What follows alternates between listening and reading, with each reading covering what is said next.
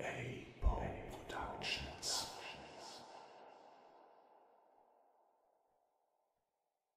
EA Pro Productions liest Karl May durch das Land der Skipetaren. Heute Kapitel 2 Die beiden Alachi. So lag ich abwechselnd sinnend und halb träumend, bis ich endlich doch in Stummer fiel, aus welchem mich ein leises Knarren weckte. Ich öffnete die Augen eben zur rechten Zeit, um Halef durch die Türe verschwinden zu sehen. Als ich nun den Laden aufstieß, drang das helle Tageslicht zu mir herein. Ich stand auf. Meine Uhr zeigte mir, dass ich dritthalb Stunden geruht hatte. Richtig. Unten im Stall fand ich Halef, welcher an dem Rappen herumputzte, und zwar mit einem solchen Eifer, dass er meinen Eintritt gar nicht bemerkte. Als er mich dann doch erblickte, fragte er, »Du auch schon auf? Im Hause schläft noch alles. Aber es ist gut, dass du schon munter bist, denn du hast sehr notwendige Besorgungen vor. So, was denn? erkundigte ich mich, obgleich ich sehr wohl wusste, was er meinte. Du musst in die Ezachi Dukani gehen. Das hat noch Zeit. Nein, Sidi, es dauert sehr lange, bis man solche Kugeln fertigbringt. Woher weißt du denn das? Ich bin nicht so dumm, dass ich es mir nicht denken könnte, Sidi.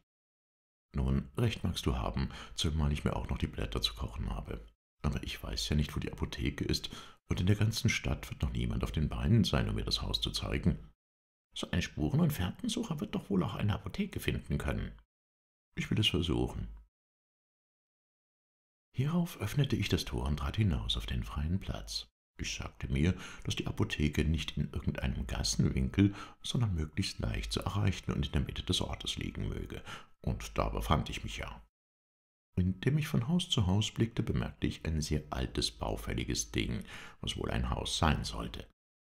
Nur noch an zwei wahrscheinlich auch bereits lockeren Nägeln hing ein langes Brett wie ein Schief herab, dessen Inschrift glücklicherweise noch deutlich zu lesen war. Hajj Umrak Dr. Hakemi Webasar Bahari. So stand in weißer Schrift auf grünem Grund zu lesen. Auf Deutsch der Mekka-Pilger Omrak, Doktor der Medizin und Verkaufsladen von Arzneiwaren. Dieser Hatschi war also ein Arzt, welcher entweder den Doktortitel wirklich besaß oder in sich anmaßte. Die Türe war verschlossen, aber ein kräftiger Stoß mit der Hand hätte mir sogleich Eingang verschafft. Eine Klingel war nicht zu sehen, doch hingen an den beiden Enden eines Strickes zwei Holzdeckel grad so hoch, dass sie von einem erwachsenen Menschen erreicht werden konnten. In der Ahnung, dass dies die Hausglocke vorstellen solle, ergriff ich die Deckel und schlug sie zusammen. Das gab allerdings ein Geräusch, welches ganz geeignet war, einen Schlafenden zu wecken. Ich musste längere Zeit das Zimbal schlagen, bevor ich Erhörung fand. Über mir wurde ein Laden geöffnet, stückweise, denn die Bretter hingen nicht mehr zusammen. Und dann kam Folgendes zum Vorschein. Eine elfenbeingelbe Glatze, eine aus lauter Querrunzeln bestehende Stirn, zwei kleine, schläfrig blinzelnde Augen, eine Nase, welche der Schnauze einer großen, braunen, tönernen Kaffeekanne glich, wie man sie bei uns auf den Dörfern sieht, ein breiter, lippenloser Mund, ein gebogenes Kinn, welches gar nicht breiter als die Nase war, und endlich ertönte es zwischen den Lippen hervor. Kim dir, wer ist da? Birchester, ein Patient, antwortete ich. Welche Krankheit? Ich habe den Magen gebrochen erklärte ich frisch von der Leber weg. Gleich, so gleich, schrie der Herr Doktor mit einer Stimme, der ich entnahm, dass ihm mein solcher Hauptfall noch gar nicht vorgekommen sei. Der Kopf fuhr in allerhöchster Eile zurück. Mir aber, der ich so verwegen war, noch in die Höhe zu blicken, fielen die Bestandteile des Ladens ins Gesicht. Ich war so geistesgegenwärtig, erst dann zur Seite zu springen, als die Bretter bereits auf der Erde lagen. Nach kaum einer Minute hörte ich hinter der Türe einen Lärm, als ob ein Erdbeben im Anzug sei. Einige Katzen kreischten, ein Hund heulte, Gefäße wurden umgerissen, eine unaussprechlich wundersame Frauenstimme schrie dazwischen. Dann flog etwas, was wohl der Arzt selbst war, gegen die Türe.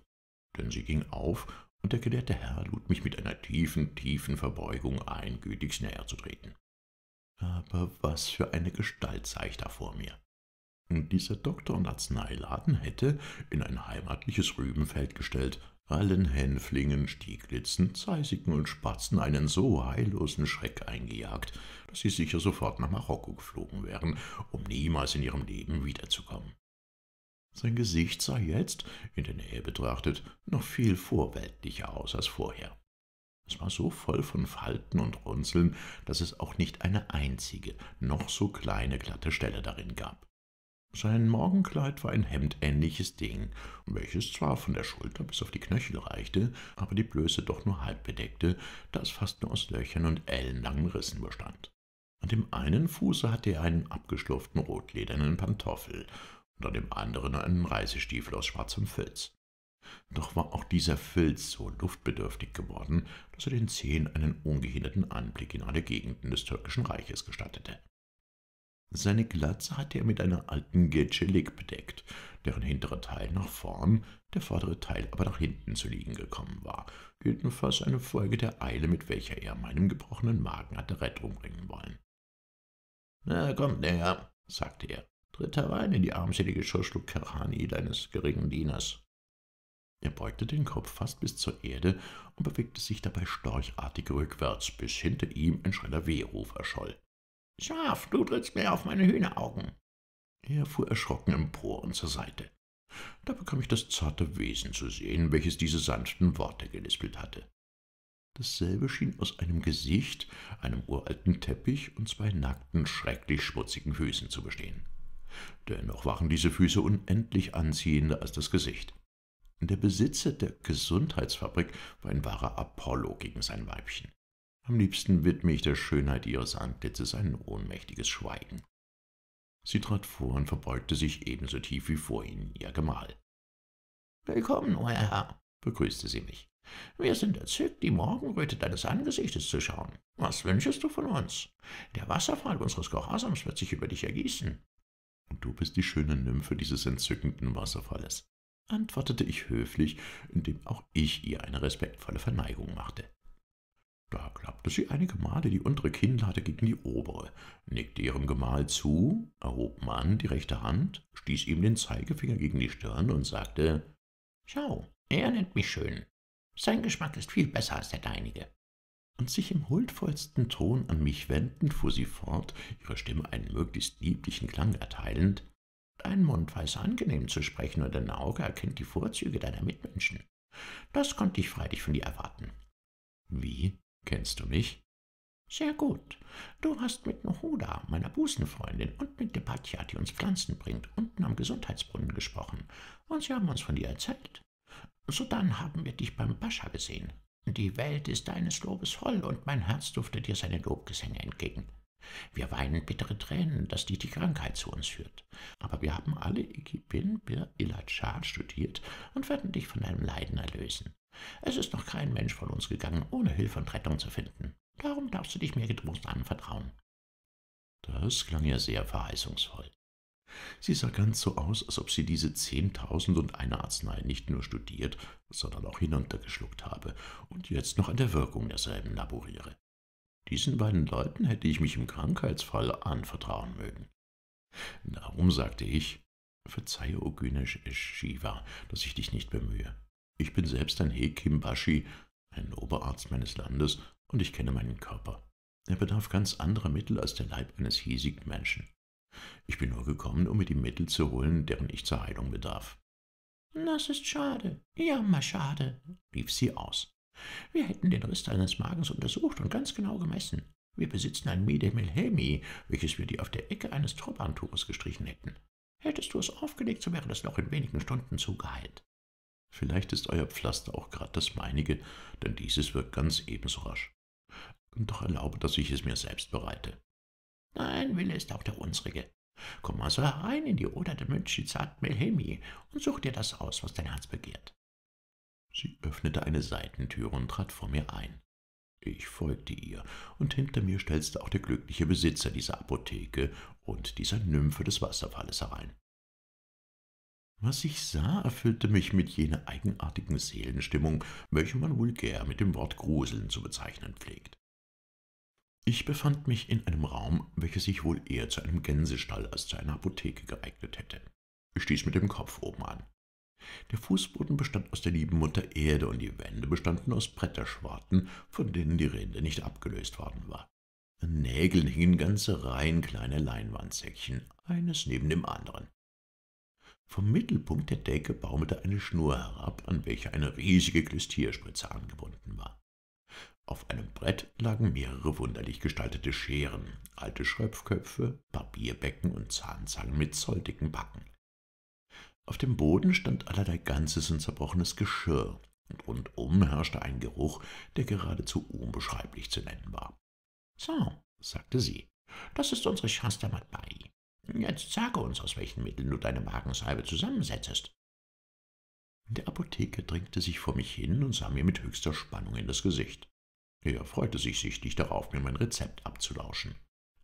»Habt ihr Sadar in einem dieser Säckchen?« fragte ich. »Sadar ist da«, antwortete die Holde, sich gegen die Wand richtend. »Sadar«, bemerkte ihr Mann, »die Wissenschaft nennt es Lotus.« Dieser wirkliche Doktor und Hekim wollte mir zeigen, dass er den lateinischen Namen der Pflanze innehabe. Da derselbe aber leider veraltet war, entgegnete ich, die wirkliche Wissenschaft nennt es Celtis Australis. Er tat den Mund sehr weit auf, sah mich erstaunt an und fragte, »Gibt es denn zwei verschiedene Wissenschaften?« »Oh, mehr als hundert.« »Allah, ich kenne nur diese eine. Ich...« »Susan, schweige!« Unterbrach sie der Gemahl in strengem Ton. »Du kennst die auch alle, und was du nicht weißt, das weiß ich. Wie viel willst du denn von dem Sadar, Herr?« »Eine große Handvoll.« »Schön, ich werde es dir in ein Kiagat tun. Herr, was willst du noch?« Unten auf dem Fußboden lag ein Papier. Ich hätte fünfhundert Piaster gewettet, dass dasselbe von der Straße aufgelesen worden war. Sie hob es auf, drehte es zusammen, fuhr mit der Zunge über die Kante, damit es kleben sollte, und tat mir eine Handvoll der Zelt des Australis hinein. Und da ich das Mittel äußerlich anwenden wollte, so erhob ich keinen Einspruch gegen dieses familiäre Gebaren der Apothekerin. »Hast du Alkali?« fragte ich. Sie blickte mich verwundert an, obgleich das Wort ein bekanntes arabisches war. Er aber zog den Mund zu einem sehr selbstbewussten Lächeln in die Breite und erkundigte sich, »Von welchem willst du?« »Das ist mir gleich.« »Ja, ich habe erfahren, dass deine Heimat im Westen liegt. Ich besitze ein sehr gutes Alkali von dort her, und wenn du es willst, kannst du es haben.« »Wie nennst du es?« »Javel Suyo.« »Zeige es mir.« er brachte wirklich, wie ich vermutete, ein Fläschchen zum Vorschein, auf welchem zu lesen war Eau de Javel, Fabrik de Charles Goodyear, Paris. »Wie kommst du zu diesem Alkali?« Fragte ich ihn. »Ich kaufte mehrere Fläschchen von einem Dukian Ushachi, welcher bei mir war. Er kam aus der Hauptstadt von Franza, die Praga heißt.« »Du irrst. Prag ist die Hauptstadt von Cememleketi, während die Hauptstadt von Franza Paris heißt.« »Effendi, das weißt du alles.« da fiel seine Gemahlin schnell ein. »Sus, schweige, das habe ich längst gewusst. Du bist ein Dummkopf, aber kein Arzt und Apotheker. Herr, was willst du noch?« »Hast du Jiva?« »Ja, wir brauchen es zum Füllen des Heva Vesni und des Mizani Harareti Wawa, die wir verfertigen.« »Wie? Ihr macht sie selbst?« »Ja, traust du es uns nicht zu?« »Oh, sehr gern. Wer so viel Arzneien studiert hat, der kann alles.« »Nicht wahr? Ja, du bist ein vernünftiger und hochgebildeter Mann. Jetzt haben wir Vorrat aus Saloniki bekommen. Wenn wir einmal keinen Jiva haben, tun wir Kichisüdi in die Röhren. Die sieht auch weiß aus und zeigt das Wetter genauer an als das Quecksilber. Sprichst du im Ernst? Gewiss. Hast du das noch nicht gewusst? Nein, meine Verehrte. So hast du nun den Beweis, dass wir hier klüger sind als ihr in den westlichen Ländern. Die Ziegen wissen ganz genau, was für Wetter wird. Wenn es regnen will, rennen sie stracks nach dem Stalle. Also muss die Milch ein gutes Mittel in die Röhren sein. Du bist eine Chokrakili-Dama. Das habe ich dir freilich auf der Stelle angesehen. Wie viel willst du von dem Chiva, hä? Ungefähr ein VK. Hast du so viel? Noch mehr. So warte noch. Ich muss erst sehen, ob ihr noch einen Stoff habt, den ich dazu brauche. Welchen meinst du? Kühlkuschuni. Das ist freilich ein seltenes Metall. Solltest du es haben? Kühlkoschoni haben wir nicht, aber Kühlkalai, welches wir brauchen, um eine schöne weiße Schminke daraus zu bereiten. Auch das geht an. Hast du ein VK davon, so gib es mir und zwei VK Quecksilber dazu. Soll ich es dir auch gleich hier in die Tüte gießen? Oh nein, das Quecksilber würde uns sofort entwischen. Ach, freilich, es ist wie die Liebe der Männer, die auch sofort verschwindet, wenn, wenn... Wenn man sie in eine solche Tüte schüttet? Ja, aber die Tüte ist das Herz. Es vermag eure Liebe nicht festzuhalten. Oh, die Liebe, die Liebe, die hat schon so manches arme Weib unglücklich gemacht. Sie warf einen wütenden Blick auf ihren Mann, riss ihm die Haube vom Kopf, schwang sie auf ihr eigenes Haupt und zürnte. Mensch, wie kannst du dich mit einer Ziernet Lödekin schmücken? Willst du die Seele deines Weibes entweihen? Er bedeckte seine Glatze schnell mit beiden Händen und schrie, Weib, du versündigst dich an deinem Mann Sibyut Mübarek. Weißt du nicht, dass es uns verboten ist, das Haupt unseres Körpers zu entblößen? Aber die geistreiche Frau wusste sich zu helfen. Sie antwortete, da, stülpe die Mehlschachtel auf. Zu gleicher Zeit griff sie nach einer runden Pappschachtel, in welcher sich noch ein Rest feines Mehl befand, und stülpte ihm dieselbe, ohne auf das Mehl zu achten, verkehrt auf das Haupt seines Körpers. Sein Angesicht war sofort bepudert, er wagte aber nicht ein Wort zu sagen und behielt diese Cotillon-Mütze ruhig auf dem kahlen Wohnsitz seiner Gelehrsamkeit. Als strenger Moslem, der sein Haupt nicht entblößen darf, war er ganz glücklich, dass es wieder bedeckt war. Welchen Eindruck aber diese Bedeckung auf mich machte, das schien ihm sehr gleichgültig zu sein. Er kniete auf dem Boden nieder und wirrte in den alten Gefäßen herum. »Was suchst du denn?« fragte ihn seine schönere Hälfte. »Ein Syrah hier, um den Effendi das Quecksilber hineinzutun. Hier ist eine.« Er erhob sich und reichte seiner Frau die Flasche. Dieselbe war so groß, dass sie wohl seinen ganzen Quecksilbervorrat gefasst hätte und vielleicht auch noch mehr. Die Frau hielt sie gegen das Licht, schaute nach dem Inhalt und sagte, »Da ist ja noch ein alter Fenderos drin.« »Was schadet es?« »Sehr viel. Nimm Wasser und wasche sie aus.« Er entfernte sich sehr gehorsam mit der Flasche. Nach einer Weile, während welcher ich mich mit der gelehrten Frau unterhalten hatte, kehrte er zurück, hochrot im Gesicht vor Anstrengung, und sagte im Tone der Verzweiflung, »Ich bringe sie nicht rein. Versuche du es selbst.« »Du bist ein Cholpa«, sagte sie. »Ihr Männer habt zu nichts Geschick.« Sie entfernte sich mit der Bouteille. Ich ließ es geschehen, ohne ein Wort zu sagen. Er erzählte mir im Vertrauen einige Beispiele seines großen Eheglücks, bis sie zurückkehrte, noch viel röter, als er vor ihm war. »Fendi«, klagte sie, »die Flasche ist verzaubert. Die Firnis geht nicht heraus.« »Das habe ich gewusst.« »Wie? Wirklich?« »Ja, es ist nicht mit Wasser, sondern mit Terementin Yagi zu entfernen. Der Firnis nimmt kein Wasser an.« »Das konntest du uns doch sagen.« »Oh nein, das hätte euch ja beleidigt.« »Warum denn?« »Ein Apotheker muss das wissen. Überhaupt weiß das auch einer, der nicht gerade Chemia studiert hat. Hätte ich euch darauf aufmerksam gemacht, so wäre dies eine Unhöflichkeit gewesen, denn es hätte so geklungen, als ob ich nicht glaubte, dass ihr 2001 Arzneimittel studiert habt. Du hast recht. Du bist ein höflicher und sehr rücksichtsvoller Mann. Dafür sollst du nun auch den Fairness umsonst bekommen. Ich schütte dir das Quecksilber darauf. Wo hast du die Terrasse, Mann? Sie ist im Hof. Ich habe gestern das Adatabaschni damit gewogen, welches wir heute essen wollen. Ohne sie herein. Oh weh. Eine Apothekerwaage, auf welcher man ein gestartetes Kaninchen wiegen kann. Als er sie brachte, sah ich, dass er sich den Waagebalkenwurst selbst aus Holz zurechtgeschnitzt hatte. Die Zunge bestand aus einem Stück Draht, welches sich zwischen den beiden Zinken einer Speisegabel bewegte. Die Schalen bestanden aus einer runden Holzschachtel und ihrem Deckel. Doch war das wunderliche Instrument ganz leidlich ins Gleichgewicht gebracht worden. Mit dieser Waage wurde mir nun das Verlangte abgewogen, und ich war sehr zufrieden mit dem Preis, den mir die Frau Apothekerin stellte, zumal das Wismut in sehr gut ausgebildeten Rhomboedern kristallisiert war und einen billigeren Preis als selbst in Schneeberg, dem Hauptfundort der Wismutherze hatte. Die beiden Leute schienen sich da in einem für mich vorteilhaften Irrtum zu befinden. Nachdem ich mir auch Blei gekauft hatte, verließ ich den sonderbaren Laden und erhielt die besten Wünsche für mein Wohlergehen mit auf den Weg. Von da begab ich mich zu der guten Nebatja, die auch schon wach war und mich mit großer Freude empfing. Sie zeigte mir ihren Distelkönig, den ich nun bei Tageslicht genau betrachtete. Sie wollte mir ihn schenken, aber ich nahm ihn nicht an. Natürlich bedankte ich mich wegen ihrer Warnung und erklärte ihr, wie wichtig mir dieselbe sein werde. Als ich ihr sagte, dass sie durch dieselbe wohl meine Lebensretterin sei, zeigte sie sich ganz entzückt darüber. Das brave Weib hatte mir die herzlichste Teilnahme abgerungen.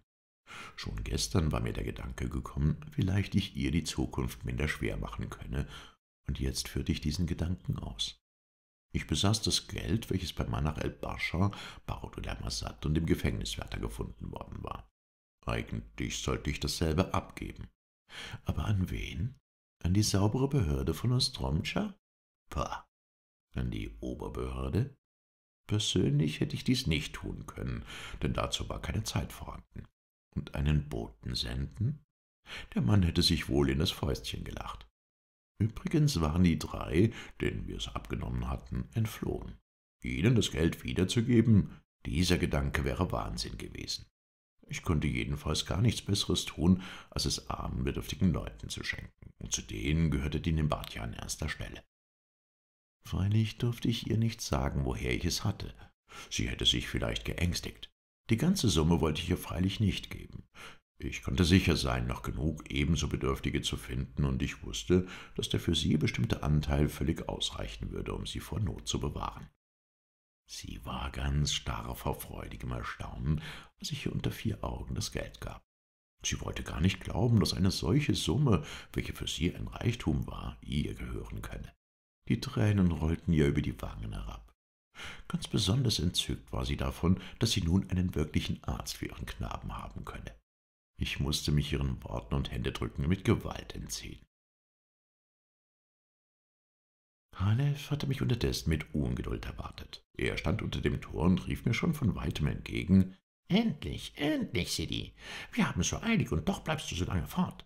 Wie steht es denn mit deinem Grundstück?« »Sehr gut. Ist der Wirt schon wach?« »Alle sind bereits munter.« »So will ich an den Herd.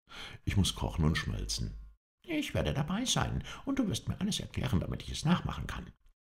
Nein, mein Lieber, mit dem Nachmachen ist es nichts. Es gehören einige Kenntnisse dazu, welche du nicht besitzest, und selbst derjenige, welcher dieselben hat, kann durch eine kleine Unachtsamkeit einen Fehler begehen, welcher ihm oder einem anderen das Leben kostet. Darum werde ich niemals jemandem alle vier Ingredienzien nennen oder ihm die Art und Weise der Mischung verraten. Osko mag mir seine Kugelform mitbringen. Sie hat das Kaliber der hiesigen Gewehrläufe. Unsere Vorbereitungen nahmen nicht mehr als eine halbe Stunde in Anspruch. Die Sardarblätter wurden in verdünntem Eau de Javel gekocht und die Lauge war durch ein altes Leintuch gegossen. Das vorhandene Metall gab acht Kugeln, welche reinen Bleikugeln täuschend ähnlich waren. Außerdem wurden mehrere Bleikugeln gegossen und mit der Messerspitze leicht gezeichnet. Dann ging ich mit Oskos Gewehr hinter das Haus, wobei mich niemand begleiten durfte. Ich lud eine der Quecksilberkugeln in den Lauf, hielt die Mündung nur anderthalb Fuß entfernt gegen ein Brett und drückte ab. Der Schuss krachte wie ein gewöhnlicher, aber das Brett war vollständig unversehrt. Am Boden zeigte sich nicht das kleinste Teilchen der zerstiebten Kugel. Diese Probe war notwendig gewesen, denn nun wusste ich, dass kein Unglück geschehen könne. Einen Verrat hatte ich nicht zu befürchten, da nur Halef, Osk und Oma eingeweiht waren, und diese drei hatten mir ihre Verschwiegenheit zur Genüge bewiesen. Das war alles noch zur rechten Zeit geschehen, denn als ich zurückkehrte, kam soeben der Kasi Mufti mit dem Naib und dem Ayak Naib. Sie hatten noch andere dabei. Als der Erstere mich bemerkte, ging er auf mich zu, zog mich zur Seite und sagte, Effendi, ahnst du, weshalb ich komme? Du willst mir melden, wie es mit dem Kutscher Bascha steht. Nein, oh nein. Ich möchte dich fragen, ob du deinen kleinen Hatschi um die Erlaubnis gefragt hast, dass ihm jemand eine Kugel durch den Kopf schießen darf. Liegt dir das denn gar so sehr am Herzen? Ja, denn es ist entsetzlich wunderbar. Hat er heute schon seine Kuranblätter gegessen? Frage ihn selbst. Ich will ihn lieber nicht fragen. Er könnte es übel nehmen. Weißt du, sein Messer. Und mit der Peitsche ist er auch so flink und freigebig. Ja, er ist ein wackerer kleiner Kerl. Also sage, hast du ihn gefragt? Ja, noch ehe wir schlafen gingen. Und was hat er geantwortet? Hm, er schien nicht übel Lust zu haben. Das wäre prächtig, herrlich. Wann kann die Geschichte beginnen? Nur Geduld. Das geht nicht so schnell, wie du es wünschest. Mein Beschützer hat seine Eigenheiten. Übrigens habe ich dir gestern noch nicht alles gesagt. Wir alle, nämlich meine drei Begleiter und ich, haben die gleiche Eigenschaft. Wir brauchen uns vor keiner Kugel zu fürchten. Was? Auch du? Wie ich das sage. So speisest du auch Koranblätter? Frage nicht zu viel. Solche Geheimnisse verrät man selbstverständlich nicht gern. So können wir also ganz nach unserem Belieben auf euch schießen? Ja, wenn euch nämlich euer Leben zum Überdruss geworden ist. Wieso? Ich verspüre noch gar nichts von einem solchen Überdruss. Dann nimm dich in Acht und schieß ja nicht etwa auf irgendeinen von uns, ohne ihn vorher um Erlaubnis gefragt zu haben. Warum denn nicht, Effendi? Wenn wir die Genehmigung dazu erteilen, so kann man es ohne Schaden tun. Wer es aber hinterrücks verübt, dessen Kugel fliegt auf ihn zurück, und zwar genau auf diejenige Stelle seines Körpers, auf welchem er bei dem unsrigen gezielt hat. Also wenn ich auf den Kopf deines Hachis oder auf den deinigen ziele, so fliegt mir die Kugel in meinen eigenen Kopf. Ganz sicher. Willst du es einmal probieren? Nein, Effendi, ich danke. Aber warum habt ihr es denn gerade so eingerichtet und nicht anders? Das kann dir dein Scharfsinn sehr leicht sagen, nämlich um etwaiger Feinde willen. Um diese zu bestrafen, ist es nicht genug, dass ihre Kugeln uns nicht schaden, sondern sie müssen sich selbst genau so treffen, wie sie uns treffen wollten. Das ist das alte Gesetz der gerechten und genauen Wiedervergeltung. Ja, Auge um Auge, Zahn um Zahn, da mag ich nicht euer Feind sein. Wann reitet ihr denn wieder fort von hier? Du freust dich wohl auf unsere Entfernung. Nein, ich wollte lieber, ihr bliebet immer da, aber eine große Umwälzung hast du uns gebracht. Jedoch zum Guten. Ja, und dafür sind wir dir dankbar, obgleich man lieber alles lassen soll, wie Allah es gemacht hat. Hat Allah es gewollt, dass der Mibarik euch betrog und dass der Kutscher Pascha eure Gefangenen befreite? Das wohl nicht. Wie geht es mit dem Kutscher Pascha? Er steckt fest. Hoffentlich wirst du nichts unternehmen, was geeignet wäre, ihn der gerechten Strafe zu entziehen. Was denkst du von mir? Ich bin ein getreuer Diener des Padishah und tue stets meine Pflicht. Dafür aber könntest du mir nun auch den Gefallen erweisen und dem Hatschi ein gutes Wort geben. Nun, ich will ihn erinnern. Und erlaubst du, dass ich noch einige Leute hole? Ich habe nichts dagegen. Ich bin bald wieder da. Ich muss es dem guten Thomas sagen, der es so gern sehen möchte. Wer ist dieser Thomas? Er ist ein Bakatschi und macht den Boten zwischen hier und Radowitsch. Ein braver Mann? Recht brav. Als du dich gestern entfernt hattest, lobte er dich gar sehr. Ich erzählte ihm, dass dein Haji Koranblätter verspeist und infolgedessen kugelfest ist. Er wollte das auch so gern sehen. Er freut sich über euch und ist euer Freund. Darf ich ihn holen? Bringe ihn. Er ging einigen Schrittes davon. Diese Leute waren so durchsichtig. Mir kam der Verdacht, dass dieser brave Botenmann Thoma vielleicht von den beiden Alatschi beauftragt sei, uns zu beobachten und ihnen dann Meldungen zu machen. Bald bemerkten wir die Wirkung der Bemühungen des Kasimufti. Es kamen eine Menge von Menschen herbei, deren bewundernden Blicken wir uns dadurch entzogen, dass wir uns in die Stube setzten. Aber der Staatsanwalt suchte uns dort auf. Er hatte einen krummbeinigen Menschen bei sich, den er mir mit den Worten vorstellte, Sie, Effendi, das ist der Bakatschi, von dem ich dir erzählt habe. Ich fasste den Mann fest ins Auge und fragte ihn, also du gehst zwischen hier und Radowitsch hin und her? Ja, hör, antwortete er, aber ich gehe nicht, sondern ich reite. Wann reitest du das nächste Mal? Übermorgen. Er nicht? Er verneinte und ich sagte, das ist sehr gut für dich. Warum? Weil dieser Weg heute für dich gefährlich werden könnte. Effendi, aus welchem Grunde? Das ist nun Nebensache. Aber wenn du heute reiten wolltest, so würde ich dich warnen. Du reitest ja doch wohl selbst. So aufrichtig und ehrlich er mich bisher angeschaut hatte, jetzt bei dieser Frage wurde sein Blick scharf und stechend. Allerdings antwortete ich unbefangen. Mann, Effendi. Genau um die Mitte des Tages. Das ist keine gute Zeit. Man soll aufbrechen zur Zeit des Nachmittagsgebetes, zwei Stunden vor Sonnenuntergang. Das tut man in der Wüste, nicht aber hier. Man reitet nicht gern des Nachts durch unbekannte Wälder, zumal die Alatschi in der Nähe sind.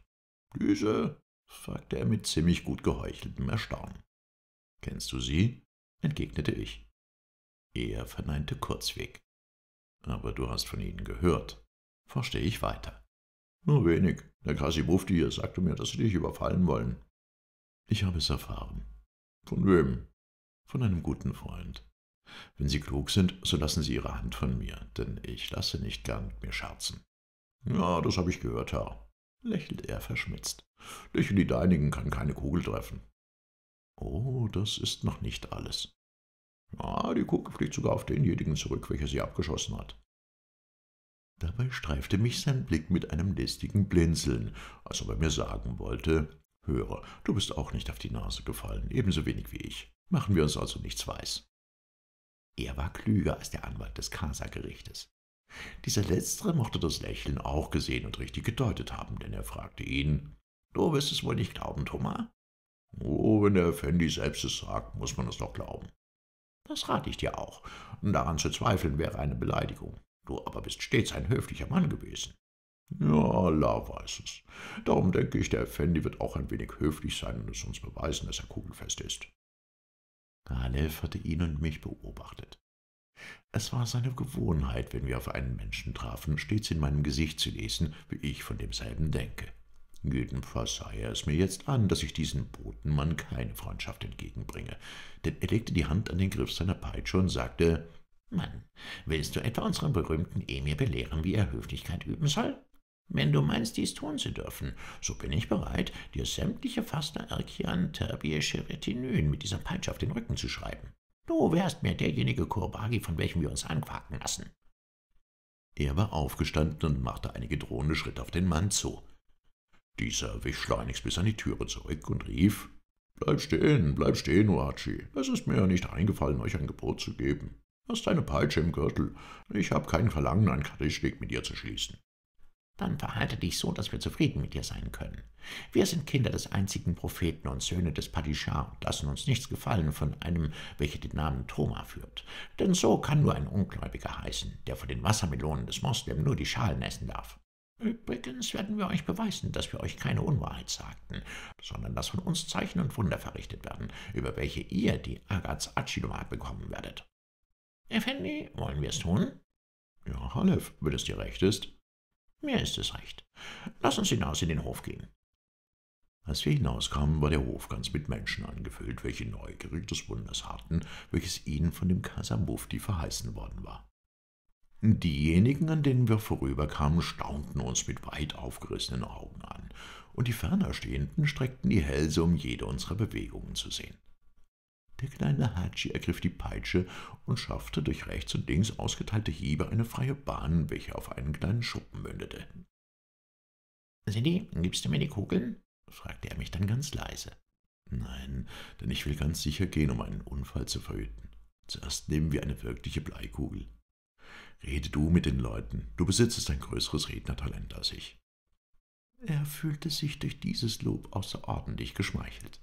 Seine Gestalt streckte sich und seine laute Stimme erscholl. Ihr Leute und Männer von Nostromcha, ihr sollt jetzt das unverdiente Glück haben, vier tapfere Männer zu sehen, durch deren Körper keine feindliche Kugel dringen kann. Öffnet eure Augen und streckt euer Gehirn an, damit euch nichts von dem Wunder entgehe und ihr es erzählen könnt, euren Kindern, Kindeskindern und Enkelskindern der entferntesten Urenkel, wenn ihr dann noch lebt. Haltet gute Ordnung und macht keinen Lärm, damit keine Störung entstehe, und sendet mir jetzt den Mann, den ihr für den besten Schützen haltet, mit seiner Flinte her. Es entstand ein halblautes Murmeln. Man suchte nach einem solchen Mann, und endlich trat einer vor, welcher sein Gewehr in der Hand hatte. Sonst sah ich überhaupt keinen, der mit einer Flinte bewaffnet war. »Ist dein Gewehr geladen?« fragte ich ihn laut. »Ja«, antwortete er. »Hast du mehrere Kugeln bei dir?« »Nein, Herr.« »Es schadet nichts. Ich werde dir von den meinigen geben. Aber vorerst musst du uns zeigen, dass du ein tüchtiger Schütze bist. Siehst du das neue Brett, welches man da in den Schuppen genagelt hat? Es ist ein Ast darin. Versuche einmal denselben zu treffen.« Der Mann trat zurück, legte an und schoss. Mehrere der Anwesenden sahen nach und fanden, dass er das Ziel nur um einen halben Zoll verfehlt hatte. »Das ist nicht ganz gelungen«, sagte ich. »Versuche es noch einmal.« Ich gab ihm eine der neu gegossenen Bleikugeln. Osko lieferte die Munition dazu. Der zweite Schuss war besser. Der Mann hatte jetzt sorgfältiger gezielt. Ich gab ihm nun drei der anderen Kugeln, nahm heimlich eine Bleikugel in die rechte Hand und sagte, nun versuche, ob du in das Loch treffen kannst, welches du soeben in das Brett geschossen hast. Zeige aber vorher diesen Leuten die Kugeln, damit sie sich überzeugen, dass du richtig ladest. Die Kugeln gingen von Hand zu Hand, was einige Zeit in Anspruch nahm, da ein jeder sie sehen und befühlen wollte. Als er sie zurückgehalten hatte, lud er seine Flinte. Tritt näher, gebot ich ihm, indem ich ihn weiter nach dem Ziel hinschob. Jetzt kannst du schießen. Bei diesen Worten stellte ich mich an das Brett. Er ließ das erhobene Gewehr wieder sinken. Ja, sagte er. Wie kann ich denn so das Brett treffen? Warum denn nicht? Du stehst mir ja im Wege. Das tut nichts. Du hast gerade deine Brust vor meinem Ziel. So schieße hindurch. Oh Herr, dann bist du tot. Nein, ich will euch ja zeigen, dass die Kugel mich nicht treffen darf. Er fuhr mit der Hand an den Kopf, um sich verlegen hinter dem Ohr zu kratzen. Das ist es ja eben, meinte er. Die Sache ist sehr gefährlich für mich. Wieso? Die Kugel wird von dir abprallen und an mir durch die Brust gehen. Sei ohne Sorgen. Ich werde sie mit der Hand auffangen und festhalten. Ein Gemurmel des Erstaunens ging durch die Reihen der Anwesenden. Ist das auch wirklich wahr, Effendi? Ich bin der Ernährer einer Familie. Wenn ich sterbe, so wird nur Allah für Sie sorgen. Du stirbst nicht. Ich verspreche es dir beim Barte des Propheten. Wenn du das sagst, so will ich es versuchen, Herr. Schieße getrost. Ich hatte Thoma, den Boten, scharf beobachtet. Er kam jetzt ganz nahe herbei und wendete kein Auge von mir. Der Schütze legte auf mich an. Er stand nur zehn oder elf Schritte von mir entfernt, aber er senkte das Gewehr noch einmal und sagte, ich habe noch nie auf einen Menschen gezielt, Herr. Du verzeihst mir doch, wenn ich dich treffe. Ich werde dir nichts zu verzeihen haben, denn du triffst mich nicht. Aber wenn dennoch, so darfst du dir keine Vorwürfe machen, denn ich habe es dir ja befohlen. Ich erhob die rechte Hand, ließ aber dabei heimlich die bleine Kugel in den Ärmel rollen, zeigte ihre auf die leere Hand und sagte, mit dieser Hand werde ich die Kugel auffangen. Also, ich zähle. Bei drei kannst du abdrücken. Ich ließ den Arm sinken und fing dabei die aus dem Ärmel rollende Kugel mit der hohlen Hand wieder auf. Es gab kein Auge, welches nicht auf mich gerichtet war. Eins, zwei, drei. Der Schuss krachte. Ich griff mit der Hand nach vorn, der Gewehrmündung entgegen, als ob ich die abgeschossene Kugel auffangen wollte, und hielt dann die bereitgehaltene Kugel zwischen Daumen und Mittelfinger empor. Hier hast du sie. Oder nimm du sie, Thoma. Betrachte sie, ob es nicht dieselbe ist, welche in den aufgestoßen worden ist. Natürlich sah sie derselben ganz und gar ähnlich. Der Bote stand mit weit offenem Munde da und starrte mich an, gleichsam als wäre ich ein Gespenst. Die Wirkung auf die übrigen Leute war geringer. Man hatte wohl bis zum letzten Augenblick gezweifelt. Nun aber war das vermeintliche Wunder dennoch geschehen. Die Kugel wurde weitergegeben. Als der Schütze sie zurückerhielt, sagte ich so laut, dass es alle es hören konnten. Jetzt nahte sie abermals in den Lauf und ziele nach dem Brett. Er tat es und schoss. Die Kugel schoss natürlich ein Loch in das Brett. Siehst du, ein solches Loch hätte ich nun in der Brust, wenn ich nicht kugelfest wäre. Jetzt magst du ganz nach Belieben auch auf meine drei Gefährten schießen. Dass die Kugel beim zweiten Male die gewöhnliche Wirkung hatte, obgleich ich früher nicht getroffen worden war, er sie aufgefangen hatte, das brachte die schlichten Leute in ungeheure Aufregung. Sie kamen herbei, um meine Hand zu betrachten, und konnten nicht genug Worte finden, ihr Erstaunen darüber auszudrücken, dass auch nicht die mindeste Spur einer Beschädigung an derselben zu sehen war. Allah ist mit ihm, hörte ich einen sagen. Ja, den Teufel, entgegnete ein anderer. Wie kann der Teufel ihm beistehen, da er den Koran verspeist? Nein, Allah ist groß. Es wurden die verschiedensten Meinungen ausgetauscht, indessen ich dem Schützen drei andere Kugeln gab und Halef, Osk und Oma den Schuppen postierte. Vielleicht hatten diese drei vorher dem Experiment doch nicht getraut. Nachdem dasselbe mir aber nichts geschadet hatte, waren sie ohne Furcht bereit, auf sich schießen zu lassen.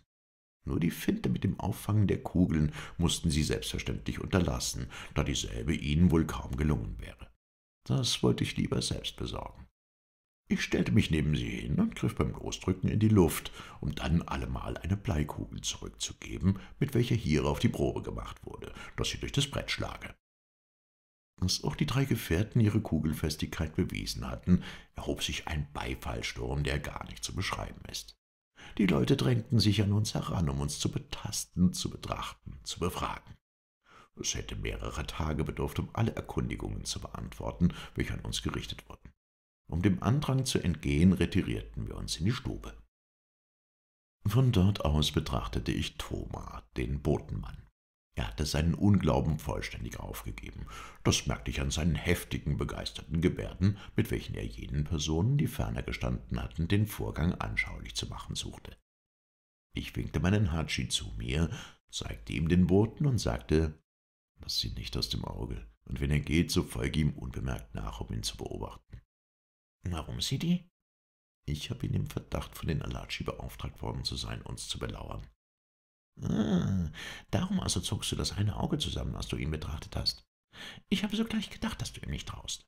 Aber was kann er uns schaden? Er wird bei den Skipetaren melden, dass wir zur Mittagszeit von hier abreisen. Er sagte doch, dass er nicht reitet. Er hat gelogen. Verlass dich darauf. Wenn er jetzt heimkehrt, so gehst du zur Stadt hinaus und versteckst dich irgendwo an der Straße, welche nach Radowitsch führt. Wenn er vorüber ist, meldest du es mir.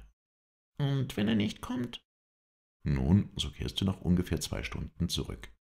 Es ist anzunehmen, dass er dann nicht reiten wird.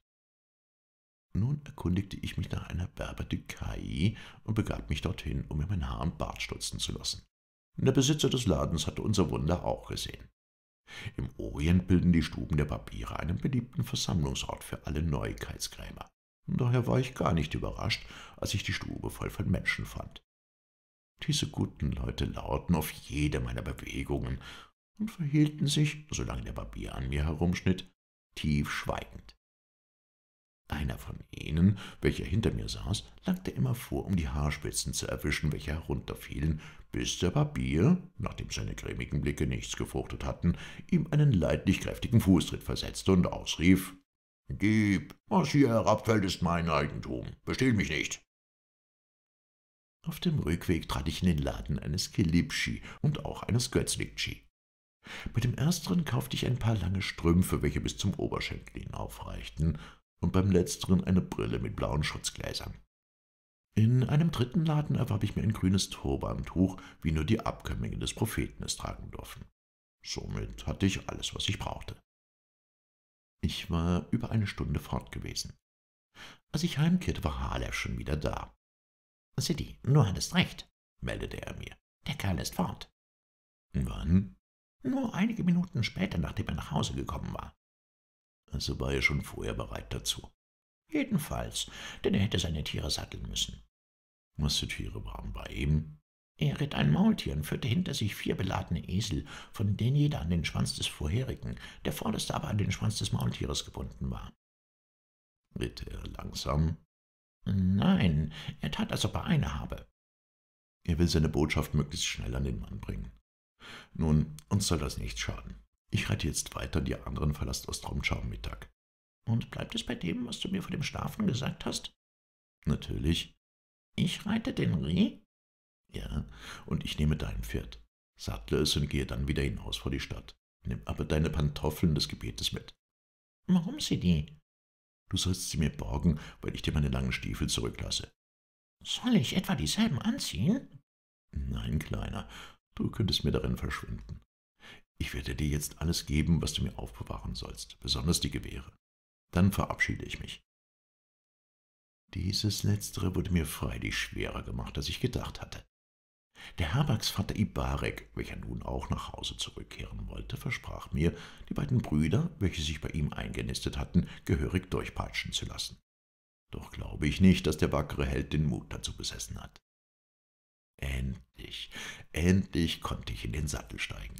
Die beiden Wirte wunderten sich, dass ich nicht den Hengst reiten wollte, erfuhren aber meine Gründe nicht.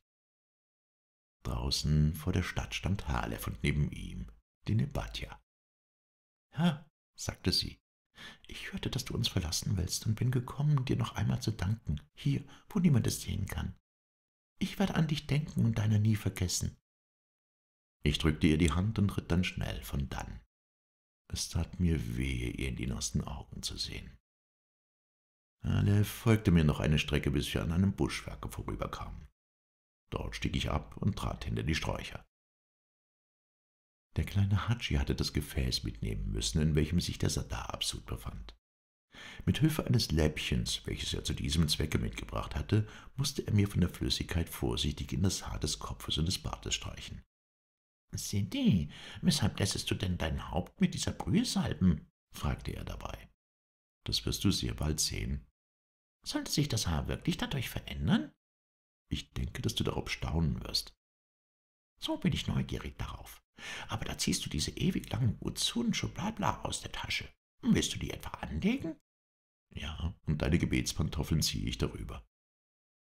Der Kleine trug auf der Reise diese Pantoffeln bei sich, um sie beim Besuch einer Moschee stets bei der Hand zu haben, da man sich der Fußbekleidung entledigen muss. Als er die Salbung meines Hauptes beendet hatte, zog er mir die Reitstiefel aus, und ich zog anstelle desselben die Strümpfe an. Die Pantoffeln waren mir ein wenig zu klein, aber es ging doch. Als er dann wieder nach meinem Kopf blickte, schlug er verwundert die Hände zusammen und rief Oh, Allah, welch ein Wunder. Dein Haar beginnt ja ganz krummral zu werden. Wirklich? Wirkt die Brühe schon? Stellenweise. So müssen wir an den dunklen Stellen nachhelfen. Hier hast du den Kamm, um die Feuchtigkeit zu verteilen. Er setzte das begonnene Werk fort, und als ich mich dann in dem kleinen Taschenspiegel besah, war ich hochblond geworden. Nun setzte ich den Fes auf, und Halef musste mir das grüne Turbantuch um denselben winden, so dass rechte Hand das ausgefranste Ende desselben herabhing. Sidi, ich begehe da eine große Sünde, sagte er kleinlaut. Nur die direkten Nachkommen des Propheten dürfen diese Auszeichnung tragen. Du aber bist nicht einmal ein Anhänger des Koran, sondern des Kitab el-Mukaddas. Werde ich diese Entweihung verantworten können, wenn ich einmal über die messerschneideschmale Brücke des Todes gehen muss? Ganz gewiss. Ich aber zweifle daran. Sei unbesorgt. Ein Mohammedaner würde sich freilich an den Nachkommen des Propheten versündigen, wenn er deren Abzeichen trüge. Ein Christ aber hat diese Regel denn doch nicht zu beobachten. Die Anhänger der Bibel dürfen sich kleiden, wie es ihnen beliebt. So habt ihr es weit besser und bequemer als wir. Aber einen Fehler begehe ich dann noch. Wenn du selbst dir das Tuch umlegtest, so würde es dein Gewissen nicht beschweren. Da ich es aber tue, ich, ein gläubiger Sohn des Propheten, so werde ich wohl strafbar sein. Habe keine Sorge. Ich will diese Sünde gern auf mein Gewissen nehmen. Und an meiner Stelle in der Hölle braten? Ja. Oh, Sidi, das gebe ich nicht zu. Da habe ich dich doch zu lieb. Lieber brate ich selbst, denn ich glaube, ich halte es besser aus als du. Brauchst du dir mehr Kraft zu als mir? Nein, aber ich bin noch viel kleiner als du. Vielleicht finde ich eine Stelle, wo ich mich unter und zwischen den Flammen niederstrecken kann, so dass sie mir nicht wehtun. Der Schreck meinte es mit seinem Bedenken gar nicht so ernst. Ich wusste doch, dass er schon längst im Herzen ein Christ geworden war. Um die Verwandlung zu vollenden, setzte ich nun die Brille auf und schlang die Reitdecke um meine Schultern, ungefähr so wie ein Mexikaner seine Serape trägt. Wunder Gottes, rief Halef aus. Sidi, du bist ganz und gar ein anderer geworden. Wirklich? Ja, ich weiß nicht, ob ich dich erkennen würde, wenn du so an mir vorüberrittest. Nur an deiner Haltung würde ich es sehen, dass du es bist. Oh, die wird auch eine andere. Aber das habe ich gar nicht nötig. Die Alatschi haben mich ja noch niemals gesehen. Sie kennen mich nur aus der Beschreibung, und es ist also sehr leicht, sie irre zu machen. Aber der Bote kennt dich. Den treffe ich vielleicht nicht. Ich denke, der wird bei Ihnen sein. Schwerlich. Sie wollen uns zwischen hier und Radowitsch auflauern. Er aber hatte seine Esel bepackt und will die Waren dort abliefern. Er beabsichtigt also nach Radowitsch zu reiten. Es ist also anzunehmen, dass er sie unterwegs benachrichtigt und dann weiterreitet. Und glaubst du wirklich ganz allein mit ihnen zurechtkommen zu können? Ja, gewiss. Die Scheckigen sind aber berüchtigt. Vielleicht wäre es besser, wenn ich dich begleiten würde. Ich bin ja dein Freund und Beschützer. Jetzt hast du Osko und Oma zu beschützen. Diese beiden vertraue ich dir an. Das tröstete ihn und erhob sein Selbstgefühl. Darum antwortete er schnell. Da hast du vollkommen recht, Sidi. Was wären die beiden ohne mich, deinen tapferen Hatschihanef Oma? Nichts, gar nichts. Übrigens habe ich den Ri, dem ich meine ganze Seele widmen muss. Mir ist sehr viel anvertraut. So mache dich dieses Vertrauens auch würdig. Weißt du noch alles, was wir besprochen haben? Alles. Mein Gedächtnis ist wie der Rachen eines Löwen, dessen Zähne alles festhalten, was sie einmal gepackt haben. So wollen wir jetzt scheiden. Lebe wohl. Mache keinen Fehler. CD, kränke meine Seele nicht mit dieser Ermahnung. Ich bin ein Mann, ein Held. Ich weiß, was ich zu tun habe. Er warf den nun nicht mehr zu brauchenden Topf zwischen die Sträucher, schwang sich meine langen Stiefel auf die Achsel und schritt nach der Stadt zurück. Ich aber ritt nach Nordwest, einer gefährlichen und vielleicht verhängnisvollen Zusammenkunft entgegen. Zunächst hatte ich freilich keine Veranlassung, eine Gefahr zu befürchten. Hätten die Alatschi mich gekannt und erblickt, so wäre an einen heimtückischen Überfall, an eine Kugel aus dem Hinterhalt zu denken gewesen. So aber hatte ich im schlimmsten Fall einen offenen räuberischen Angriff zu erwarten, wie jeder andere Reisende auch. Und dazu bot meine jetzige Erscheinung eben nicht viel Verlockendes. Ich sah aus wie ein armer Scherif, bei dem gar nicht viel zu holen war, und wenn ich auch meine Gewehre zurückgelassen hatte, so trug ich doch die beiden Revolver in der Tasche, und diese genügten vollständig auch mehr als nur zwei Angreifer unschädlich zu machen. Dieselben sahen nur mein Messer und mussten annehmen, dass ich sonst unbewaffnet sei. Das hätte sie jedenfalls zu einer Sorglosigkeit verleitet, die ihnen gefährlich werden konnte. Die Gegend von Ostromtscha nach Radowitsch ist sehr fruchtbar. Felder und Weiden wechseln mit Waldungen. Die Strumnitza ist die Fee, welche der Gegend diese Wohltat verleiht. Zur Linken hatte ich die nordöstlichen Berge des Velica Dak und zur Linken senkten sich die Höhen des Blaschkawica Planina hernieder. Keinen Menschen traf ich, und erst nach mehr als einer Stunde kam mir ein einsamer Bulgare entgegen, den ich an der Kleidung als solchen erkannte.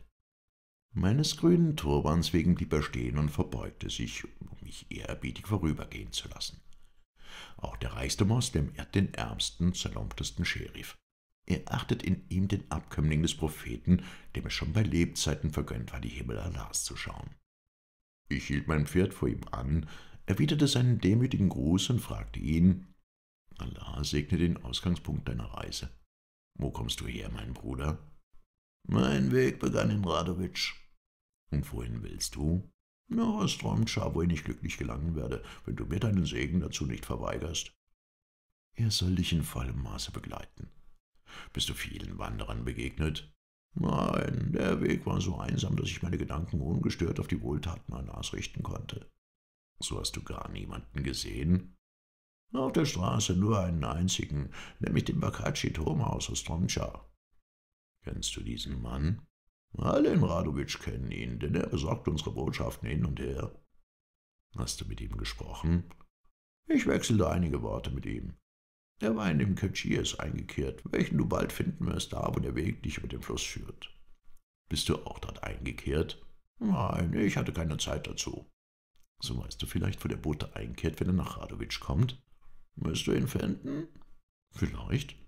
Er kehrt in keinem Kahn ein, wie du wohl denken magst, sondern bei einem Verwandten, den er dort hat. Wenn ich dir den Namen desselben sagte, so würdest du ihn doch nicht ohne Hilfe finden, da ich dir die Gassen nicht so genau beschreiben kann. Ich bitte dich daher in Radowitsch, dich noch einmal zu erkundigen.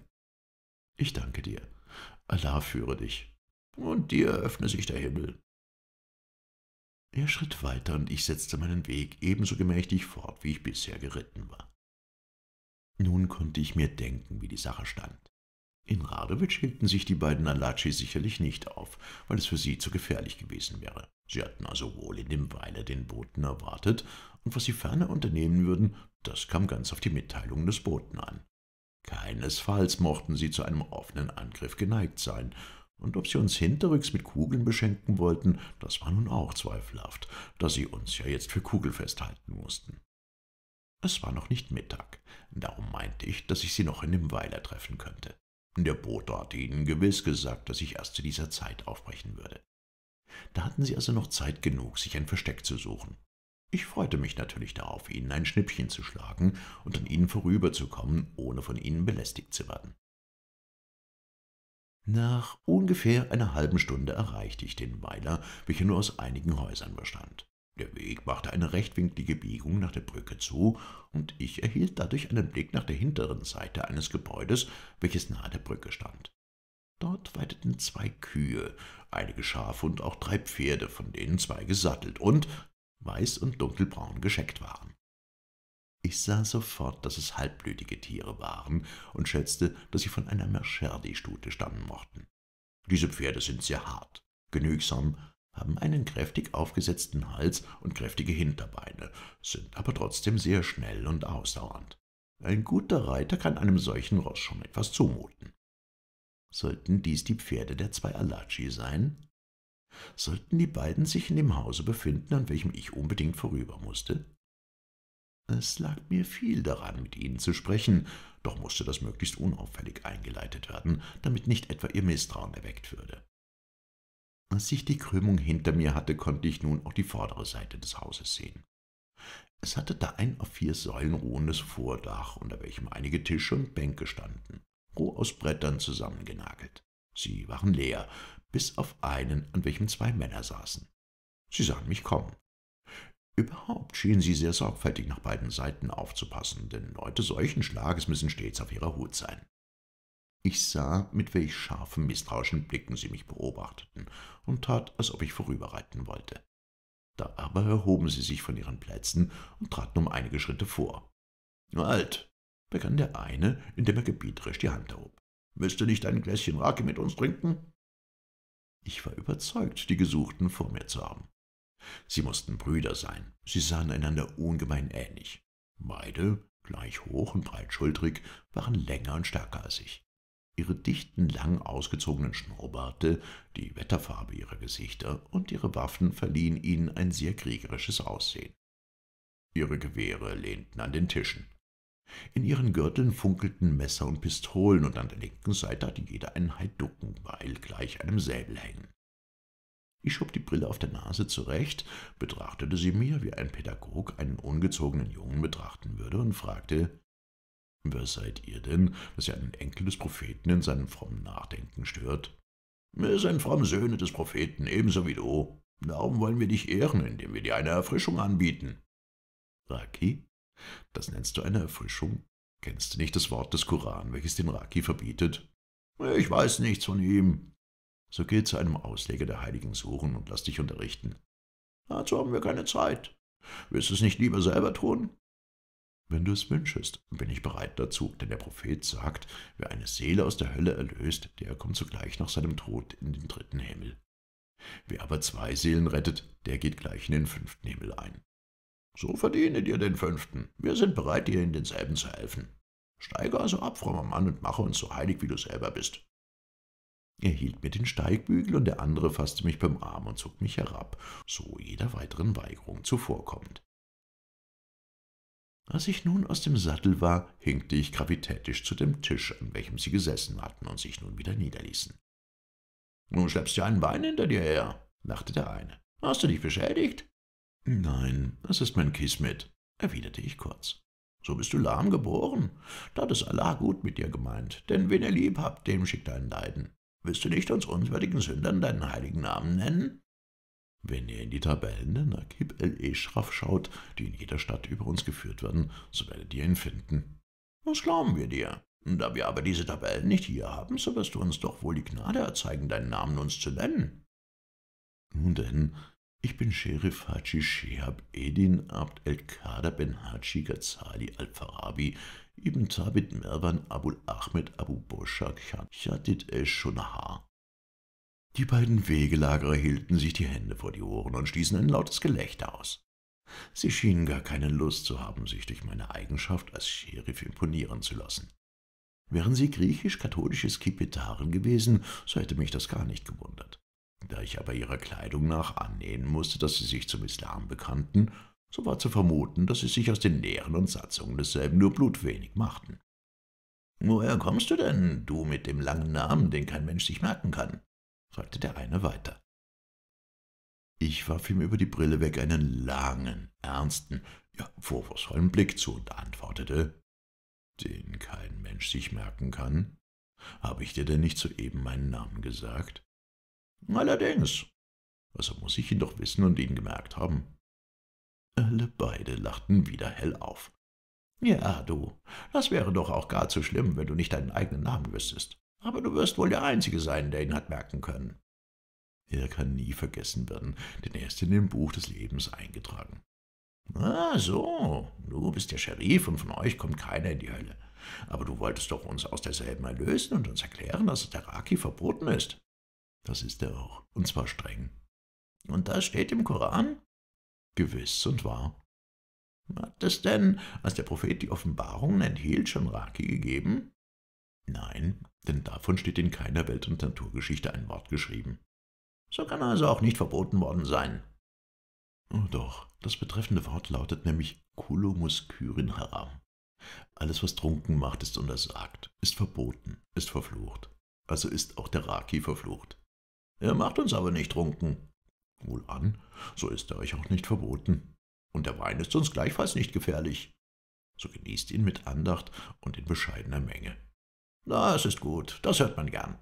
Du scheinst kein übler Ausleger zu sein. Wirst du denn betrunken von Raki? Wenn ich nur wenig trinke, nicht. Und was nennst du wenig?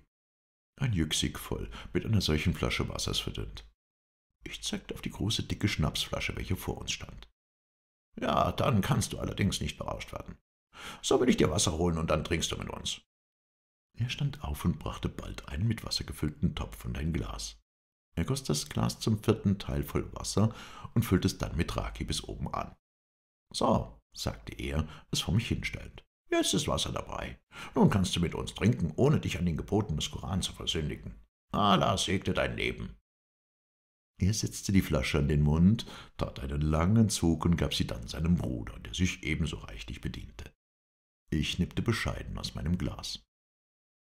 Dieser eine schien überhaupt, während der andere sich schweigend und beobachtend verhielt, das Wort führen zu wollen. Er fragte bald wieder, »Also, woher kommst du?« »Eigentlich komme ich von Afretissar.« »Und wo willst du hin?« »Nach Skopja, um die Gläubigen dort in den Gesetzen und Regeln des Koran zu unterrichten.« »In Skopja? Da wirst du nicht viel Freude erleben.« »Warum?« frage ich mit schüchternem Befremden. »Weißt du denn nicht, dass man dort die Frömmigkeit verlacht?« »Ich habe es vernommen, und eben deshalb will ich hinreisen.« »So wirst du dir die Schwindsucht an den Hals reden, aber keinen Menschen bekehren.« »Was geschehen soll, das geschieht. Es ist in dem Buch des Lebens verzeichnet.« »Du scheinst dieses Buch sehr genau zu kennen.« Allah kennt es und nur er allein liest es. Ich hoffe, dass einige Bewohner von Skopje auch darin verzeichnet sind. Na, das bezweifle ich stark. Es sollen viele Skepetaren dort sein, und die taugen nichts. Leider habe ich das auch gehört. Dass die Skepetaren nichts taugen? Jawohl. Wieso denn? Der Scheitan hat sie besessen. Ich kenne sie nicht, aber sie sollen Diebe, Räuber und Mörder sein. Die Hölle selbst ist noch viel zu gut für sie geschaffen.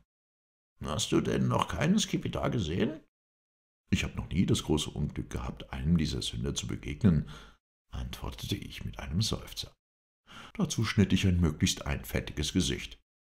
Sie stießen sich unter dem Tisch mit den Füßen an und schienen großes Vergnügen an meiner Albernheit zu haben. Aber hast du denn keine Furcht vor ihnen? fragte er weiter. Warum sollte ich mich fürchten? Könnten Sie mir etwas anderes tun, als was mir bereits vorher bestimmt wäre? Hm, du reisest ja nach dem Land der Skipetaren. Wenn dich nun ein solcher Räuber überfällt? Es wäre jammerschade um seine Mühe. Dies ist mein ganzes Vermögen. Sechs Piaster warf ich auf den Tisch, und ich hatte auch die Wahrheit gesagt, denn ich trug nicht mehr bei mir, weil ich dem kleinen Halef mein Geld übergeben hatte. Da können Sie bei dir allerdings nicht viel holen, aber du musst doch auf der Reise Geld haben. Geld? Wozu? Nun, um leben zu können. Dazu brauche ich nichts. Hat der Prophet nicht befohlen, gastfreundlich zu sein? Ah, du bettelst? Betteln? Willst du einen Scherif beleidigen? Speise, Trank und ein Nachtlager finde ich überall. Wo hast du denn in letzter Nacht geschlafen? In Ostromtscha. Ah, dort. Das ist uns interessant. Beide warfen einander einen Blick zu, welcher heimlich sein sollte. Warum? Seid ihr etwa von dort? Das nicht, aber wir hörten, dass in letzter Nacht dort ein großes Feuer gewesen sei. Groß? Oh nein. Es soll die halbe Stadt niedergebrannt sein. Dies hat euch ein ganz großer Lügner gesagt. Einen Brand hat es gegeben, das ist wahr, aber er war ganz unbedeutend und nicht einmal in der Stadt. Wo denn? Oben auf dem Berg. Dort gibt es doch gar kein Haus. Aber eine Hütte. Etwa diejenige des alten Mübarek? Ja, dieselbe. Kennt man denn den Brandstifter? Der Mübarek ist es selbst gewesen. Das glaube ich nicht. Ein solch frommer Mann soll ein Brandstifter sein. Oh, er ist gar nicht so fromm gewesen, wie er sich gestellt hat. Also wäre es doch wahr, was wir hörten. Was habt ihr denn gehört? Dass er eigentlich ein großer Schlingel, ein Verbrecher sei. Diesmal seid ihr recht berichtet. Weißt du das genau? Ja, denn ich war dabei, als er gefangen genommen wurde. Ich war auch bei dem Feuer und überall. So hast du vielleicht auch die vier Fremden gesehen, welche das alles angestellt haben? Ich habe sogar mit ihnen in demselben Kahn gewohnt und geschlafen. Wirklich? Wohl auch mit ihnen gesprochen? Mit allen Vieren. Würdest du sie wiedererkennen, wenn sie dir jetzt begegneten? Augenblicklich. Das ist gut, sehr gut. Wir erwarten sie nämlich, denn wir müssen mit ihnen reden. Da wir sie aber noch nicht gesehen haben, so können wir uns sehr leicht irren. Willst du uns nicht auf sie aufmerksam machen, wenn sie kommen?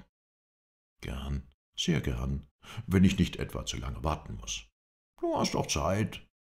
Nein, ich muss übermorgen ins Skopje eintreffen. Du brauchst nur etwa noch drei Stunden zu warten. Das ist mir viel zu lange. Wir bezahlen nicht dafür. Bezahlen? Das könnte der Sache eine andere Wendung geben. Wie viel wollt ihr denn bezahlen? Fünf Piaster, bis Sie kommen. Und wenn Sie aber nicht oder sehr spät kommen, so dass ich dann nicht weiterreiten kann, weil es dunkel ist, so bezahlen wir für dich hier das Nachtquartier und das Essen. So bleibe ich. Aber ihr müsst mir die fünf Piaster sofort auszahlen. Sheriff, denkst du etwa, dass wir kein Geld haben? Nein, sondern ich denke, dass ich keins habe. Darum möchte ich solches bekommen. Nun, diese Kleinigkeit können wir sehr leicht vorausbezahlen. Da. Er warf mir zehn Piaster hin, und als ich ihn erstaunt anblickte, sagte er verächtlich, Nimm es nur, wir sind reich.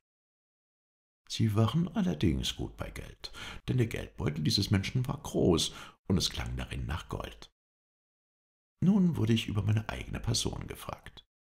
Ich musste mich und meine Begleiter genau beschreiben und dann auch sagen, ob ich gesehen, dass uns die Kugeln nicht getroffen hätten. Ich erzählte alles, was geschehen war. Dann fragte der Skipitar, »Hast du denn nicht gehört, wann diese vier Männer aufbrechen wollen?« Ich war dabei, als der eine von ihnen sagte, dass sie zur Mittagszeit fortreiten würden. »Das haben auch wir erfahren, aber wir denken, dass sie dennoch nicht kommen werden.« »Warum nicht?« »Weil sie sich fürchten.« oh, »Diese Fremden sehen nicht so aus, als ob sie sich fürchten könnten. Vor wem auch sollten sie denn Angst haben?« »Vor den Skipetaren.« das glaube ich nicht, habe doch nicht einmal ich selbst Angst vor ihnen. Und nun gar diese vier. Ihr sollt nur die Waffen des einen sehen. Ich habe davon gehört. Man soll ihm jedoch gesagt haben, dass Kipitaren ihm auflauern wollen. Davon weiß ich nichts. Wohl aber habe ich von zwei Räubern gehört. Also doch, was ist's mit ihnen? Der alte Mübarek hat zwei Räuber gedrungen, diese vier Fremden unterwegs zu töten. Woher weiß man das? Aus einem Gespräch, welches belauscht worden ist. Teufel, wie unvorsichtig. Hat man die Namen der Räuber gewusst? Nein, und ich glaube, man kennt dieselben überhaupt nicht. Und was sagen denn die vier Fremden dazu? Sie lachen. Allah, Allah, Sie lachen? brauste er auf. Sie lachen über diejenigen, von denen Sie angefallen werden sollen? Ja, über wen sonst? Ich meine, wenn es sich um wirkliche Skipetaren handelt, so kann diesen Fremden das Lachen sehr leicht vergehen. Das glaube ich nicht. Wie? Du glaubst es nicht? Meinst du, dass die Skepetaren schwache Knaben sind? Sie mögen so stark sein, wie sie wollen. Diesen vier Männern können sie nichts anhaben, weil dieselben kugelfest sind. Kugelfest? Verflucht. Ich habe niemals daran geglaubt und es stets für ein albernes Märchen gehalten, dass sich ein Mensch kugelfest machen könne. Hast du es aber auch genau gesehen? Sehr genau. Ich stand unmittelbar dabei. Die Kugeln trafen nicht, und der Mensch fing sie sogar auf? Mit der Hand. Dann, als abermals mit denselben Kugeln geschossen wurde, durchbohrten sie das Brett. Es ist kaum glaublich. Aber über 500 Menschen waren dabei, haben es gesehen und sich die Kugeln geben lassen. Dann muss man es freilich glauben. Wenn ich das Kunststück auch machen könnte, ich verzehrte alle Tage einen ganzen Koran. Es wird sich wohl nicht bloß darum handeln, sondern ich vermute, dass dabei auch noch gewisse Geheimnisse zu beachten sind. Ohne Zweifel. Ich gebe sehr viel darum, wenn ich diese Geheimnisse erfahren könnte. Das wird keiner verraten. Hm, vielleicht doch. Ich glaube es nicht. Und ich wüsste doch vielleicht zwei Personen, die es erfahren könnten. Wer wären diese? Die Räuber, die ihnen auflauern. Oh, diese am allerwenigsten. Das verstehst du nicht, obwohl du ein Sheriff bist. Ich nehme an, dass die Skipetaren einem von den Fremden das Leben schenken, jedoch nur unter der Bedingung, dass er ihnen das Geheimnis verrate. Dabei vergissest du aber die Hauptsache, sagte ich mit kühler Ruhe. Was wäre dies? fragte er hastig. Dass sich diese Männer gar nicht vor den Skipetaren zu fürchten brauchen. Sie sind ja kugelfest, wie ihr nun selbst zugeben werdet. Wir müssen es freilich zugeben, denn wir haben es vorhin aus einem ganz zuverlässigen Mund gehört. Aber ich frage dich, sind sie denn auch hieb- und stichfest? Hm, das weiß ich nicht. So sind sie es auch nicht, denn sie hätten sich jedenfalls dessen auch gerühmt. Also kann man ihnen doch zu Leibe gehen. Oder meinst du, dass wir, wenn wir diese Skipetaren wären, uns vor diesem Fremden, welcher den Araber reitet, zu fürchten hätten? Im Ringen gewiss nicht. Also sind sie doch nicht so sicher. Aber auch ich bin überzeugt, dass ihnen nichts geschieht, zumal wir ihnen beistehen würden. Ihr wollt dies wirklich tun? fragte ich gemächlich. Warum zweifelst du? Wir sind ihnen von Radowitsch aus entgegengeritten. Wir wollen sie empfangen und sie überraschen. Sie sollen nämlich bei uns wohnen. Wir werden ihre Gastfreunde sein. Wehe dem Menschen, der ihnen ein Leid antun wollte. Hm, das glaube ich wohl. aber Sie können vielleicht überfallen werden, bevor Sie hierher kommen. Oh nein, da gibt es keinen passenden Ort. Verstehst du das so genau? Fragte ich, indem ich ein recht einfältiges Gesicht zu machen mich bemühte. Ja, denn ich bin Soldat gewesen. Weiter oben, nach Radowitsch zu, ist ein passender Ort, nämlich da, wo es durch den Wald geht. Da gibt es große Felsenbrocken zu beiden Seiten des Weges, und das Gehölz ist so dicht, dass man weder rechts noch links entfliehen kann. Wenn Sie dort angefallen würden, so wären Sie rettungslos verloren. In der Pause, welche nun entstand, weil er Sinn vor sich niederblickte, hörte ich jetzt ganz deutlich wimmernde Töne aus dem Haus dringen. Ich hatte sie schon vorhin gehört, aber nicht so deutlich. Es schien eine Kinderstimme zu sein. Die Sache wollte mir beinahe verdächtig vorkommen, doch dachte ich mir, dass die Skipetaren es gar nicht hätten wagen können, hier eine Untat zu verüben und dann so ruhig sitzen zu bleiben. »Wer wimmert denn da drin?« fragte ich. »Wir wissen es nicht.« »Ist dieses Haus ein Kahn?« »Nur eine kleine Herberge.« »Wo ist der Wirt?« »In der Stube.« »Ich will einmal nachsehen«, sagte ich, stand auf und ging auf die Türe zu. »Halt, wohin?« fragte der eine. Hinein zu dem Wirt. Geh hier in den Laden. Ich erriet sofort, dass sie mich nicht mit dem Wirt allein sprechen lassen wollten. Jedenfalls kannte er sie, und sie fürchteten, von ihm verraten zu werden. Ich hinkte also zu dem offenen Laden und steckte den Kopf hinein. Das Wimmern dauerte fort. Wirt, rief ich hinein. Ja, antwortete eine männliche Stimme. Wer wimmert so da drin? Meine Tochter. Warum? Sie hat Zahnweh. Wie alt ist sie? Zwölf Jahre. Warst du bei einem Berber oder Hekim? Nein, ich bin zu arm. So werde ich helfen.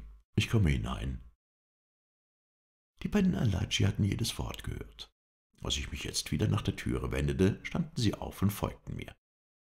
Die Stube sah überaus ärmlich aus, selbst nach dortigen Begriffen. Es war niemand da als der Wirt und die Patientin, welche wimmernd in einer Ecke hockte.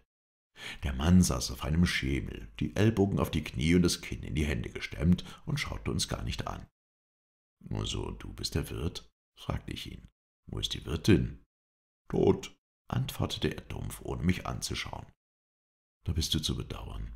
Hast du auch noch andere Kinder?« »Noch drei kleinere.« »Wo sind dieselben?« »Draußen am Fluss.« welche Unvorsichtigkeit. Kinder lässt man nicht ohne Aufsicht an das Wasser. Jetzt erhob er den Kopf und sah mich verwundert an. Hat er etwa keine solche Teilnahme erwartet? Warum holst du sie nicht zu dir? fragte ich weiter. Ich kann nicht. Aus welchem Grund? Ich darf nicht hinaus. Oh, wer sollte es dir verwehren? Er warf einen finsteren Blick auf die beiden Alaci, und zugleich bemerkte ich, dass der eine desselben ihm mit dem Finger drohte. Ich tat, als hätte ich nichts gesehen, und ging in die Ecke, sagte der Kleinen einige freundliche Worte und führte sie zu dem offenen Laden hin. Komm her, bat ich in wildem Ton, um ihr Vertrauen zu erwecken. Ich werde dir sofort die Schmerzen nehmen. Öffne einmal den Mund und zeige mir den Zahn. Sie tat es ohne Zögern. Den Zahn war nichts anzusehen. Vielleicht war der Schmerz ein rheumatischer. Da gab es freilich kein Mittel. Aber ich wusste aus Erfahrung, welchen Einfluss besonders bei Kindern die Einbildung übt. Vor allem musste das Weinen aufhören. Nun schließe einmal den Mund und antworte mir durch Nicken oder Schütteln, sagte ich. Hast du noch Schmerzen? Sie nickte.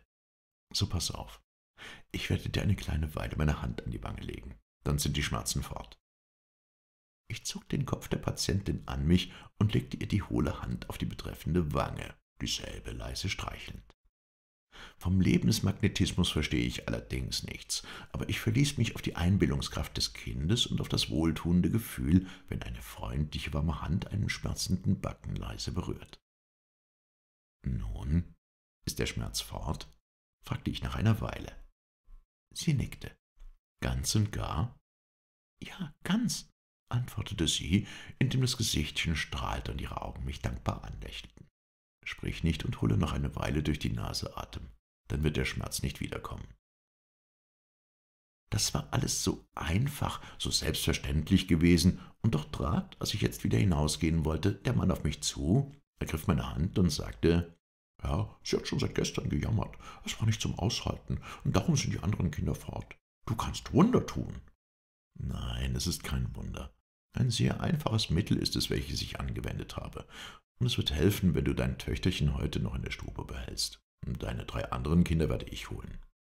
Du, Herr, du? fragte er. Freilich, denn du kannst ja nicht. Die beiden Alachi warfen ihm wütende Blicke zu. Er aber bückte sich, als ob er etwas aufheben wollte, kam mir dadurch näher und raunte mir zu, indem er sich wieder erhob. Nimm dich in Acht, es sind die Alachi. Was war das? schrie der eine der beiden, welcher vielleicht einen Hauch gehört hatte. Was hast du gesagt? Ich? Nichts, antwortete der Wirt möglichst unbefangen. Ich habe es doch gehört. Da täuschest du dich.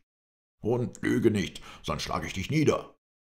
Der Skipitar erhob die Faust. Ich packte seinen Arm und sagte, Freund, was tust du? Weißt du nicht, dass der Prophet verboten hat, dass der Gläubige sein Gesicht vom Zorn entstellen lasse? Es geht mich dein Prophet an. Ich begreife dich nicht. Du gebärdest dich wie ein schlimmer Mensch und willst doch der Freund dieser vier Fremden sein, die keinen Wurm beleidigen. Er ließ den Arm sinken, warf dem Wirt noch einen finsteren Blick zu und antwortete mir Du hast recht, Sheriff, aber ich liebe die Wahrheit und hasse die Lüge.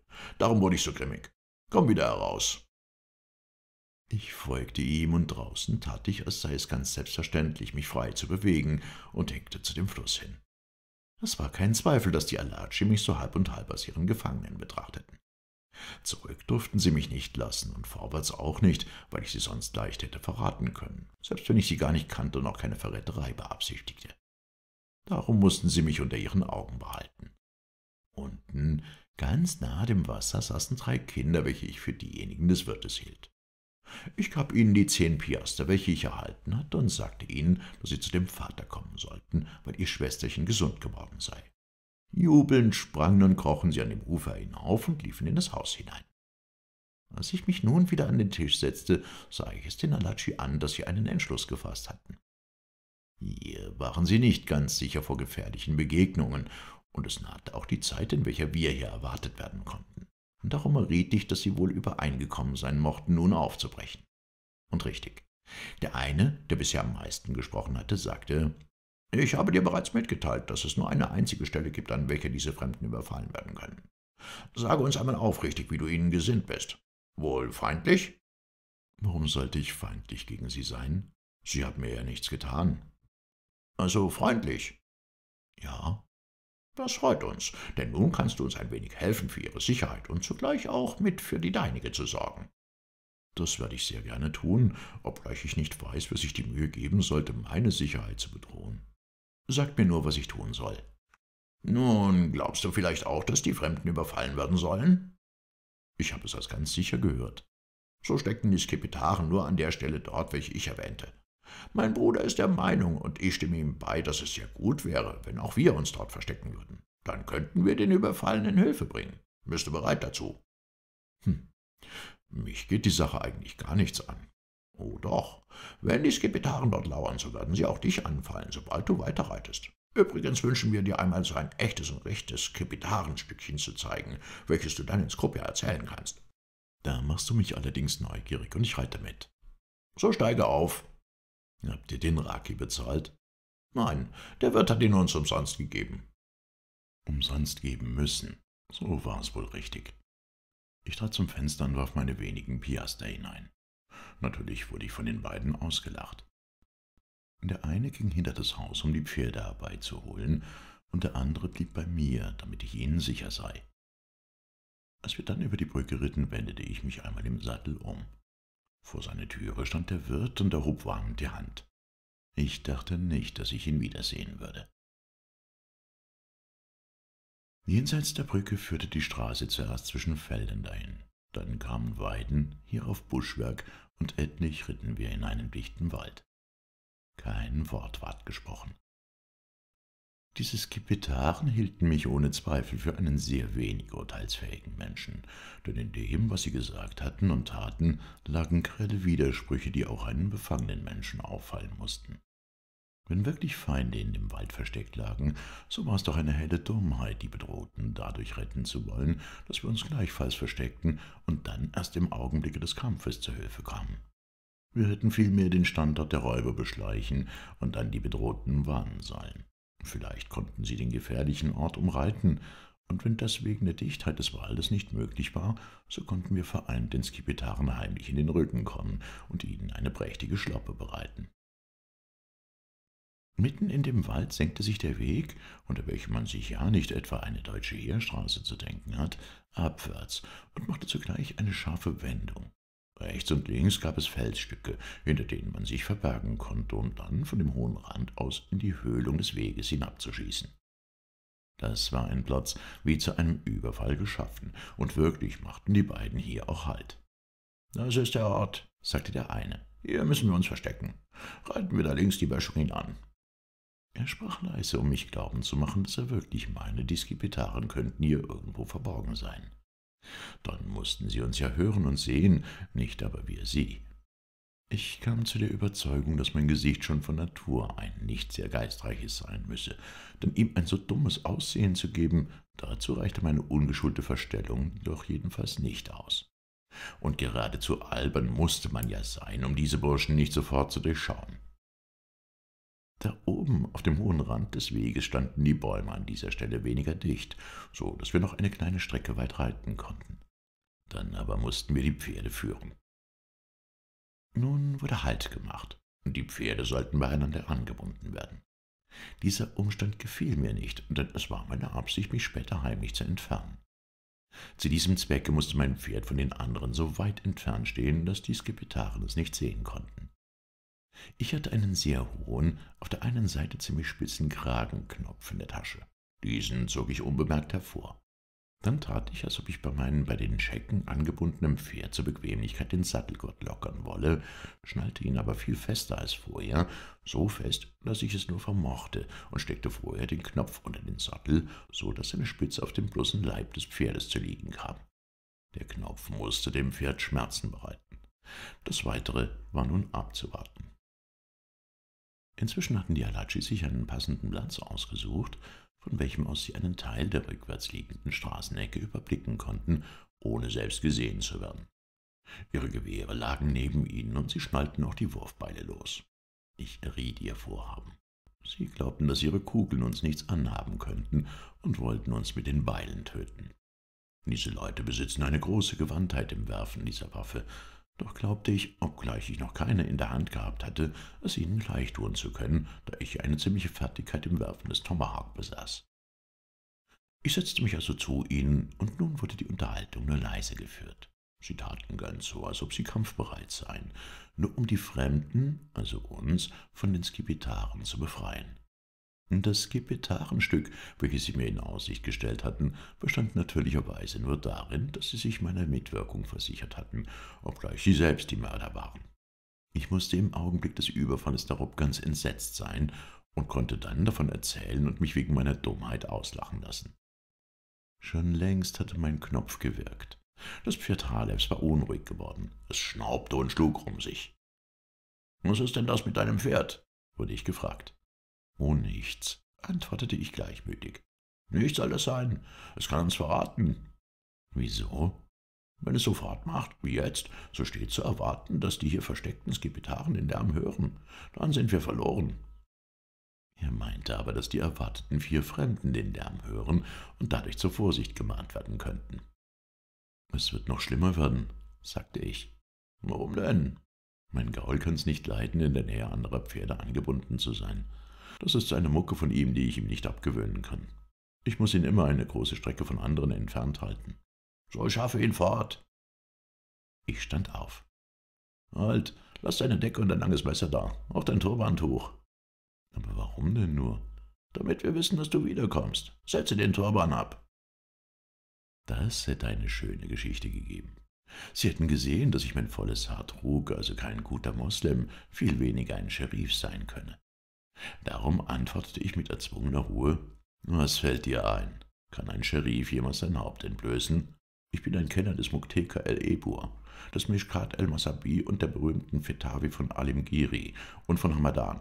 Ich weiß sehr wohl, was dem Gläubigen verboten ist, und jetzt soll ich meine Seele den Lüften übergeben, dass der Sturm sie von dannen treibe?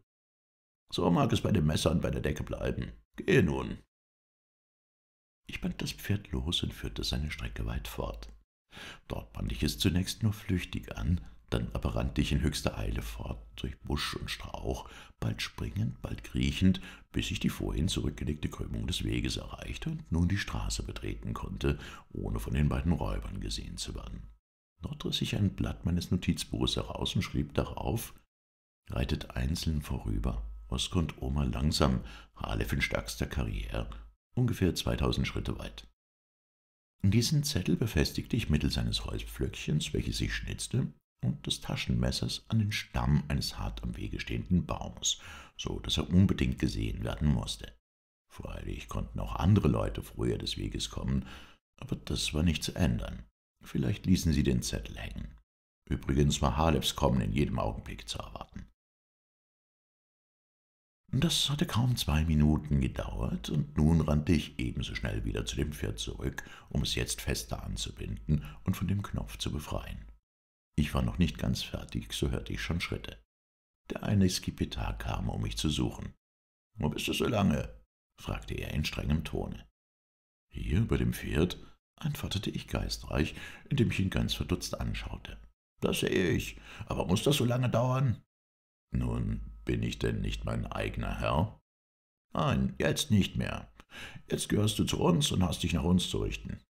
Habt ihr mir etwa gesagt, wie lange ich fortbleiben darf?« Frage nicht so albern, Esel. Packe dich fort, dahin, wo wir sitzen.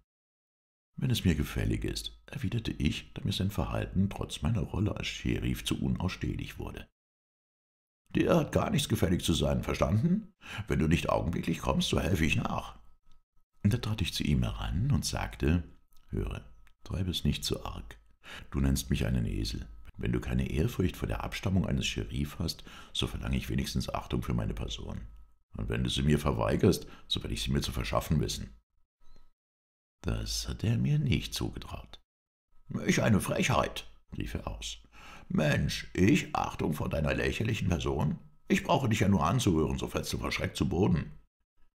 Er fasste mich am linken Arm und drückte mir denselben so derb, dass ein weniger kräftiger als ich wohl laut aufgeschrien hätte.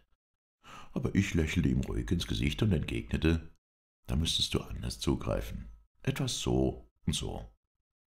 Ich legte meine Hand in der Weise auf seine linke Achsel, dass der Daumen unter der Schlüsselbein zu liegen kam, die anderen vier Finger aber den nach oben und außen ragenden Teil des Schulterblattes erfassten, welcher mit dem Armknochen das Achselgelenk bildet.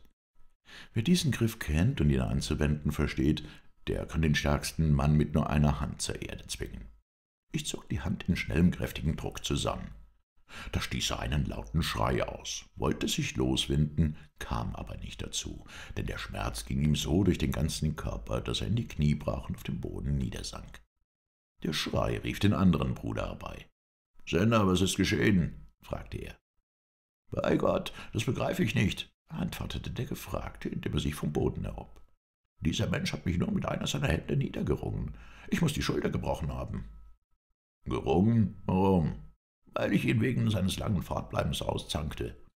Alle Teufel, Mensch, was seid ihr rein? Soll ich dich zermalmen? Er packte mich an der Brust, um mich zu schütteln. Eine Gegenwehr lag nicht in meiner Sheriffrolle, aber mich fassen und schütteln zu lassen wie einen kleinen Jungen, das war gegen meinen Geschmack. Ich nahm ihn also ebenso bei der Brust, zog ihn erst an mich und stieß ihn dann so rasch auf volle Armeslänge von mir ab, dass er mich loslassen musste. Nun bückte ich mich ein wenig, legte ihm den Unterarm, aber ohne mit der Hand loszulassen, noch abwärts an den Leib, hob dann den Kerl mit einem blitzschnellen Ruck empor und warf ihn zur Erde. Er blieb eine Sekunde lang liegen, ganz verblüfft vom maßlosen Staunen, schnellte dann empor und streckte beide Hände nach mir aus. Noch einmal? Fragte ich, einen Schritt zurücktretend. Ich war zornig geworden. Vielleicht hatten meine Augen jetzt einen ganz anderen Ausdruck, als für die Sehwerkzeuge eines salbungsvollen Scherif passend war. Denn der Alatschi prallte zurück, starrte mich an und rief dann, »Mensch, du bist ja ein Riese!« Ich neigte das Haupt und antwortete in demütigem Tone, »Das steht wohl so im Buch des Lebens verzeichnet. Ich kann nicht dafür.« Die beiden brachen in ein lautes Gelächter aus. »Weißt du, Biber, der Kerl ahnt gar nicht, was für Kräfte er hat«, sagte Sanda. Dieser aber betrachtete mich mit misstrauischem Blick vom Kopf bis zum Pantoffel herab und antwortete, es ist nicht bloß Riesenkraft, er hat auch Übung. Diesen Griff macht ihm nur einen nach langem Wiederholen nach. Sheriff, wo hast du das gelernt? Bei den heulenden Derwischen in Stambul. Wir balgten uns zum Spaß in freien Stunden. Ah, so, schon glaublich, du seist ein ganz anderer, als du zu sein scheinst. Das ist ein Glück, denn wenn du uns täuschen wolltest, so wäre dein Leben gerade so viel wert wie dasjenige einer Fliege im Schnabel eines Vogels. Du wirst dich jetzt nicht mehr wieder neben, sondern zwischen uns setzen. Dich müssen wir vorsichtig behandeln. Wir kehrten zu unserem vorigen Platz zurück und die beiden nahmen mich dort in ihre Mitte. Ihr Misstrauen war wach geworden. Meine Lage hatte sich nun verschlimmert, doch bangte mir trotzdem nicht, da ich mit den beiden Revolvern ihnen auf alle Fälle weit überlegen war. Es ward gar nicht mehr gesprochen. Die beiden Helden der Landstraße mochten denken, dass unter den jetzigen Verhältnissen das Schweigen am ratsamsten sei. Mir war das freilich ganz lieb. Wenn ich ja einige Besorgnis hegte, so war es nicht für mich, sondern für meine Gefährten. Vielleicht wurde mein Zettel doch nicht von ihnen bemerkt oder von vorher kommenden Leuten oder durch irgendeinen Zufall abgerissen. Das musste ich nun freilich mit Ruhe abwarten. Ein angenehmes Gefühl ist es jedoch nicht, zwischen zwei bärenstarken und bis an die Zähne bewaffneten Wegelagerern zu sitzen. Dass es in der Türkei eine Menge solcher Menschen geben kann, das ist sehr leicht erklärlich. Es liegt an den dortigen Verhältnissen. Liest man doch sogar heutzutage in fast jeder Nummer irgendeiner Zeitung von gewaltsamen Grenzüberschreitungen, Räubereien und Ausplünderungen. Erst im vorletzten Monat des Jahres 1887 hat die Regierung eine Bekanntmachung erlassen, in welcher sie befiehlt, dass jeder Richter nun endlich doch einmal nach dem Gesetz urteilen solle. Ein bekannter und mächtiger Pascha sende die Drohung an die Pforte, dass er sofort seine Entlassung nehmen werde, wenn es ihm nicht erlaubt sein solle, die in seinem Distrikt überhand nehmenden Räubereien zu bestrafen. Ist es da ein Wunder, wenn in solchen Gegenden der Reisende sich selbst sein Recht spricht, weil er es sonst nicht findet? Ist es unbegreiflich, dass immer neue Banden auftauchen, wenn kaum eine alte zersprengt worden ist? Der friedliche Bewohner ist fast gezwungen, es mit diesen Leuten zu halten. Sie sind die wahren Herren und führen ein grausames Regiment. Wir hatten nun so lange dagesessen, dass mir die Geduld ausgehen wollte. Da hörten wir von rechts her ein Geräusch. »Ach, es kommt jemand«, sagte Sander und griff nach seinem Beil. »Vielleicht sind Sie es.« »Nein«, antwortete sein Bruder, »es ist nur ein einzelner Reiter, dort biegt um die Ecke.« Ich blickte zurück und sah zu meiner Freude Oma kommen, und zwar ganz allein. Man hatte meinen Zettel also gesehen und gelesen. Er kam langsam herbei, den Kopf tief geneigt, wie in Gedanken versunken. Er sah weder rechts noch links. »Wollen wir?« fragte Biber, indem er auf seine Flinte deutete. »Nein«, antwortete Sander. »Der Kerl hat nichts, das sieht man ihm ja an.« Sie genierten sich also gar nicht in meiner Gegenwart von ihrem eigentlichen Handwerk zu sprechen. Omar ritt vorüber, ohne nur einmal aufzublicken. Er hatte erkannt, dass dies das Allerbeste war. Nach einiger Zeit bemerkte Sander, dort kommt wieder einer. Na, auch sein habe nichts. Aber wollen wir denn alle vorüberlassen? Jetzt ja. Bedenke, dass unsere Schüsse gehört werden müssen. Natürlich, von den Skipetaren, die hier versteckt sind, stimmte ich mit Einfalt bei. Diese bemerkten dann, dass wir hier sind, um ihnen das Handwerk zu legen. Dummkopf, grinste mich Sander an. Osko war es, der jetzt kam. Auch er gab sich dem Anschein eines ganz sorglosen und unbefangenen Menschen. Sein Äußeres ließ auf keine Reichtümer schließen, und er gelangte glücklich vorüber. Nun musste Halef kommen. Mit diesem hatte ich Grund zur Besorgnis. Ihn konnten sie aus dem Sattel schießen wollen, um sich des prächtigen Rappen zu bemächtigen. Zwar hätte ich es nicht dazu kommen lassen, lieber hätte ich jedem eine Kugel gegeben, aber es war doch besser, dies zu vermeiden. Darum musste ich versuchen, ihre Aufmerksamkeit abzulenken. Ich spähte scharf, doch verstohlen nach der Ecke, um welche er kommen musste. Jetzt sah ich ihn hervorsprengen. Die beiden bemerkten ihn noch nicht. Ich stand auf. »Wohin?« fragte mich Sander rau. »Zu meinem Pferd. Hörst du nicht, dass es wieder unruhig wird?« »Der Scheitan hole dein Pferd. Du bleibst.« Du hast mir nichts zu befehlen, erwiderte ich barsch und tat, als ob ich fortgehen wollte. Da sprang er auf und ergriff mich beim Arm. Bleib, oder ich gebe dir ein. Er wurde durch einen Ausruf Bibas unterbrochen, welcher zuerst seinen Blick auf uns gerichtet hatte, nun aber Halef sah.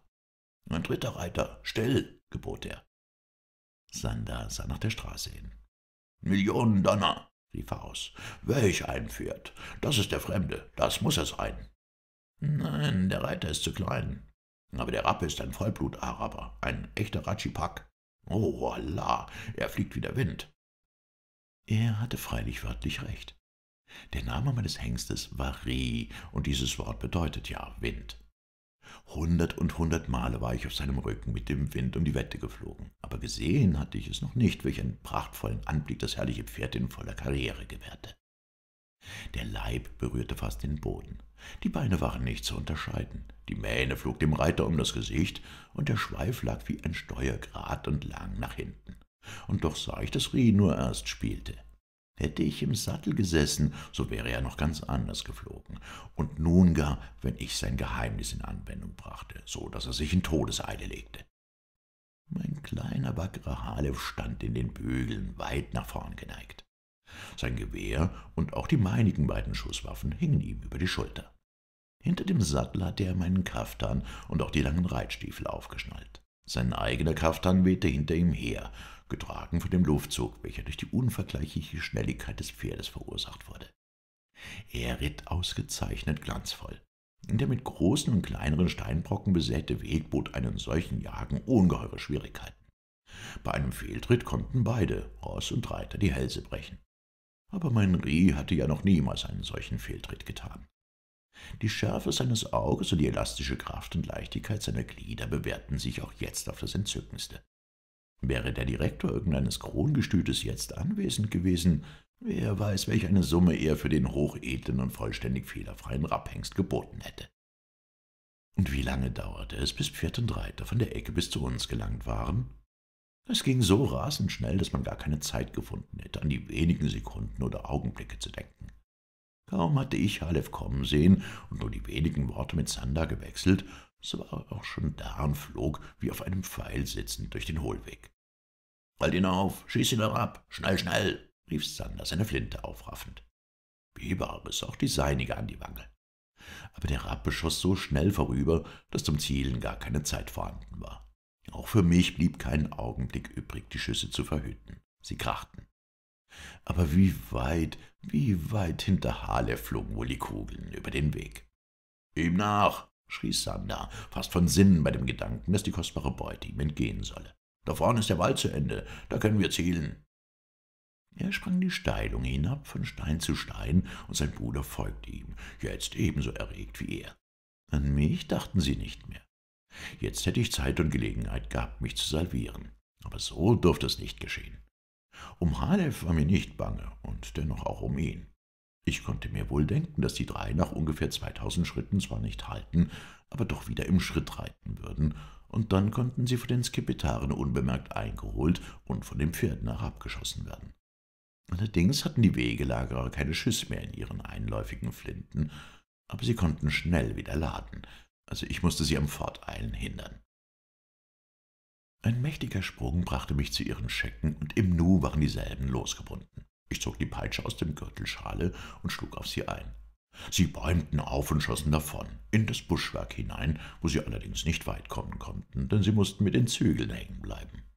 Nun sprang ich wieder vor und schrie den beiden Skipetaren nach. Sander, Biber, halt, halt, die Schecken haben sich losgerissen.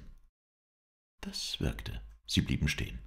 Binde sie wieder an, rief Sander zurück. Sie sind ja fort. Hell und Teufel, wohin denn? Weiß ich es? Frage doch Sie selbst. Oh, du Dummkopf.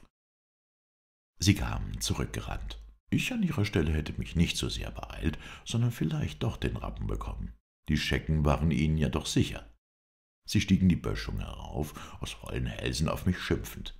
Sander war der Erste, welcher oben anlangte. Ein rascher Blick überzeugte ihn, dass die Pferde wirklich fort waren. Er fuhr auf mich los und schrie Und, warum hast du sie nicht gehalten? Ich habe nicht nach den Pferden, sondern nach dem Reiter geschaut, ebenso wie ihr. Du konntest aber aufpassen. Sie sind durch eure Schüsse erschreckt. Warum schießt ihr auf Leute, die euch nichts zu leid tun? Übrigens gehören die Pferde nicht mir, sondern euch. Ich bin nicht euer Knecht und habe nicht auf sie zu achten. Das wagst du uns zu sagen? Nimm dies dafür. Er hatte die Flinte in der rechten Hand und holte mit der gebreiten linken aus, um nach mir zu schlagen. Ich erhob den Arm, um mit einem Gegenhieb zu parieren, hatte aber einen Stein, welcher hinter mir lag, nicht beachtet und stürzte über denselben hinweg und zu Boden. Da erhob er den Kolben und gab mir einen Stoß an die Brust, den ich nur halb zu parieren vermochte. Der Stoß benahm mir den Atem, aber im nächsten Augenblick schnellte ich empor, packte ihn mit beiden Händen beim Gürtel, hob ihn in die Höhe und warf ihn an den Stamm eines mehrere Ellen von mir stehenden Baumes, das an dem Fuß desselben regungslos zusammensank. Da aber wurde ich von hinten gepackt. »Schuft, das heißt du Büßen!« rief Biber, welcher inzwischen herbeigekommen war. Er hatte mich um den Leib gefasst und wollte mich aufheben. Das hatte noch niemand vermocht. Ich spreizte die Beine aus, zog die Schultern zusammen und holte tief Atem, um mich schwer zu machen. Aber fühlte ich im linken Fußgelenk einen stechenden Schmerz. Der Fuß versagte mir den Dienst. Ich musste ihn bei dem Fall verletzt haben. Der hinter mir stehende Skipita strengte seine ganze Kraft an, mich emporzubringen. Er keuchte vor Zorn und Anstrengung. Sein Bruder lag besinnungslos an dem Baum. Vielleicht hielt er ihn gar für tot und saß infolgedessen auf mein Leben ab. Ich fühlte, dass ich nicht länger durch das bloße Beharrungsvermögen widerstehen könne. Es war notwendig, mich aus der Umarmung zu lösen. Darum zog ich das Messer und versetzte meinem Gegner einen Stich in die Hand. Er ließ los, brüllte vor Wut und Schmerz und knirschte, »Du stichst, so schieße ich!« Natürlich hatte ich mich schnell umgedreht. Ich sah, dass er die Pistole aus dem Gürtel riss. Beide Hähne knackten. Noch konnte ich ihm vielleicht mit dem Revolver zuvorkommen, aber ich wollte ihn ja doch nicht töten. Er hob die Waffe. Ich schlug gegen dieselbe, just als er den einen Lauf abfeuerte. Der Schuss ging fehl. Blitzschnell erhielt er einen zweiten Faustschlag, und zwar von unten herauf in das Gesicht, an die Nase, dass ihm der Kopf in das Genick flog. Ein Griff, und ich hatte ihm die Pistole entrissen, die ich fortschleuderte. Er hielt einige Augenblicke lang die Hände an Mund und Nase, welche beide verletzt waren. Dann stieß er einen gellenden Schrei aus und langte nach mir. Aber ich bückte mich, unterlief ihn, fasste ihn bei den Oberschenkeln, dass ich glaubte, meine Finger drängen in das Fleisch ein, und schleuderte ihn nach hinten über mich hinweg. Mich nun schnell umdrehen, stürzte ich mich auf den Daliegenden, um ihm keine Zeit zu lassen, sich wieder aufzuraffen, und gab ihm einen Hieb an die Schläfe, dass er mit einem langen, verlöschenden Atemzug ohnmächtig wurde. Was ich nicht für möglich gehalten hätte, ich war den beiden Alatschi nicht unterlegen. Als ich ihre gewaltigen Körper regungslos da vor mir liegen sah, konnte ich kaum an diesen Erfolg glauben. Ganz gewiss war jeder von ihnen stärker als ich, aber ich war hurtiger als sie gewesen und ich kannte meine Griffe, die ich freilich nicht bei den heulenden Derwischen gelernt hatte. Ich untersuchte beide. Tot waren sie nicht. Sie mussten bald wieder zu sich kommen, und so war es ratsam, mich nach vorwärts zu konzentrieren. Um sie aber noch für einige Zeit unschädlich zu machen, nahm ich ihnen die Pulverbeutel, welche sie an den Gürteln hängen hatten, und zertrat ihre Gewehre. Bei diesem Geschäft fühlte ich nun deutlich, dass mein linker Fuß verletzt war. Hatte ich mich vorher hinkend gestellt, so hinkte ich nun gezwungenermaßen zu meinem Pferd, nachdem ich die Gebetspantoffeln des kleinen Hatschi, welche mir während des Kampfes von den Füßen geglitten waren, vom Boden aufgelesen und wieder angesteckt hatte. Ich band das Tier los und führte es an einer geeigneten Stelle auf den Weg hinab, wo ich endlich aufsteigen konnte. Der Schmerz im Fuß war durch das Gehen stärker geworden. Jetzt, als mein Gaul sich mit mir in Bewegung setzte, atmete ich erleichtert auf. Ich war ja mit meinen Gefährten einer großen Gefahr entgangen, und das hatte ich der guten Nebatja zu danken. Hätte ich einen sicheren Boten an sie gehabt, wahrhaftig, ich hätte den Alatschi ihr zusammengeraubtes Geld abgenommen und hätte es ihr geschickt. So aber musste ich es ihnen lassen. Es gab keinen anderen rechtlich legitimierten Besitzer desselben. Und es der Behörde übergeben? Ich hatte in Ostromtscha keine dazu aufmunternden Erfahrungen gemacht. Mit Vergnügen aber dachte ich daran, was die Skipetaren sagen würden, wenn sie erführen, wer der dumme Scherif eigentlich gewesen sei. Nachdem ich eine Weile geritten war, hörte der Wald auf. Der Weg führte in dem Tal des Flusses hin, den letzteren zur linken Hand. In nicht allzu weiter Entfernung sah ich Halef, Osk und Oma halten. Sie erkannten mich augenblicklich und sandten mir laute Freudenrufe entgegen. Ich gab dem Pferd nicht die Sporen, sondern die Pantoffel und galoppierte zu ihnen hin. »Oh, Sidi, was haben wir für Sorge um dich gehabt?« rief mir Halef von weitem zu. »Wo hast du denn gesteckt?« »Da hinten im Wald, wie ihr jetzt seht, denn ich komme aus demselben.« »Das dachten wir uns gleich, als wir deinen Zettel lasen.« Ihr habt ihn doch herabgenommen? Ja, aber auch wieder angesteckt. Warum? Zum Gaudium. Wir dachten, oder vielmehr ich dachte, wie die Halunken sich ärgern würden, wenn sie später zu sehen bekämen, wie wir es angefangen haben, ihnen eine lange Nase zu drehen. Oder war das nicht richtig? Ein Fehler ist es nicht. Jedenfalls finden Sie den Zettel und werden sich mächtig ärgern, zumal wenn Sie aus dessen Inhalt schließen, dass ich, auf den es abgesehen war, mehrere Stunden bei Ihnen gewesen bin. Wie? Du warst bei Ihnen? Ich habe mit Ihnen gesprochen, getrunken und sogar gekämpft, und jetzt liegen Sie besinnungslos im Wald. Sieh die, da müssen wir doch schnell zu Ihnen zurück, damit auch ich ein Wörtchen mit Ihnen sprechen kann. Das ist nicht nötig. Sie haben genug von mir gehört. Ich habe mit der Faust zu Ihnen gesprochen. Erzähl uns uns schnell. Sogleich, aber dabei können wir immer weiter reiten. So komm her, den Rie zu besteigen. Nein, ich bleibe hier im Sattel. Du sollst den Rie bis Radowitsch reiten, zum Lohn dafür, dass du ihn vorhin so prächtig geritten hast. Hast du mich denn gesehen? Sehr genau. Du bist so nah an uns vorübergeritten, dass ich dich mit meinem Lasso hätte erreichen können. Und ich saß gut im Sattel? Prächtig. Besser noch als ich. Höre, Sidi, das ist Hohn. Das darfst du mir nicht antun. Nun, so will ich einfach sagen, dass ich mich über dich gefreut habe. Aber hast du denn auch gehört, dass man nach dir geschossen hat? Nein, davon hatte ich keine Ahnung.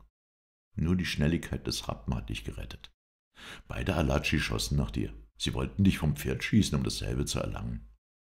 Da hielt er den Rappen an und rief, wir werden doch nach dem Wald zurückreiten müssen, Sidi.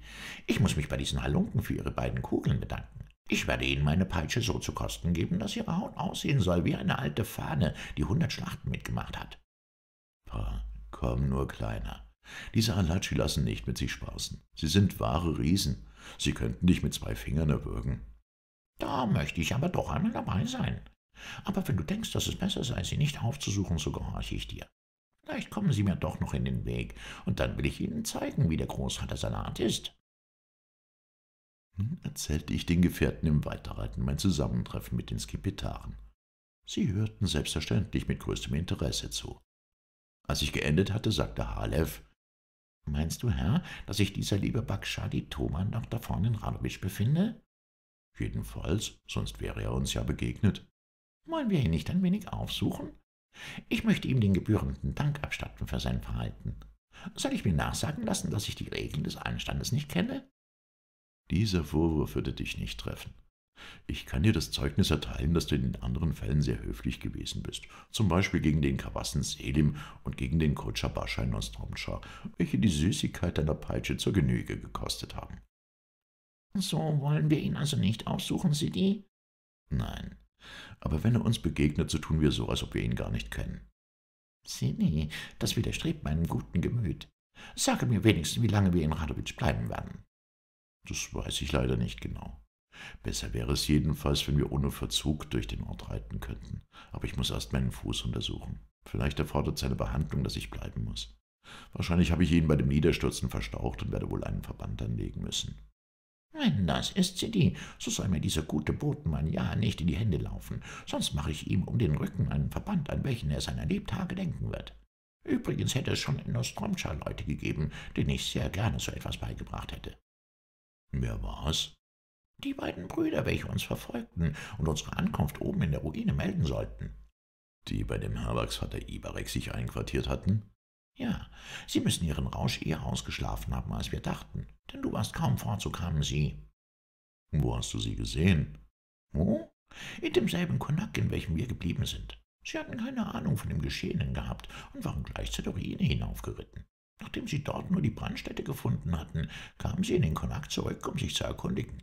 Du kannst dir denken, was für Gesichter sie schnitten, als sie erfuhren, was sich ereignet hatte. Hast du mit ihnen gesprochen?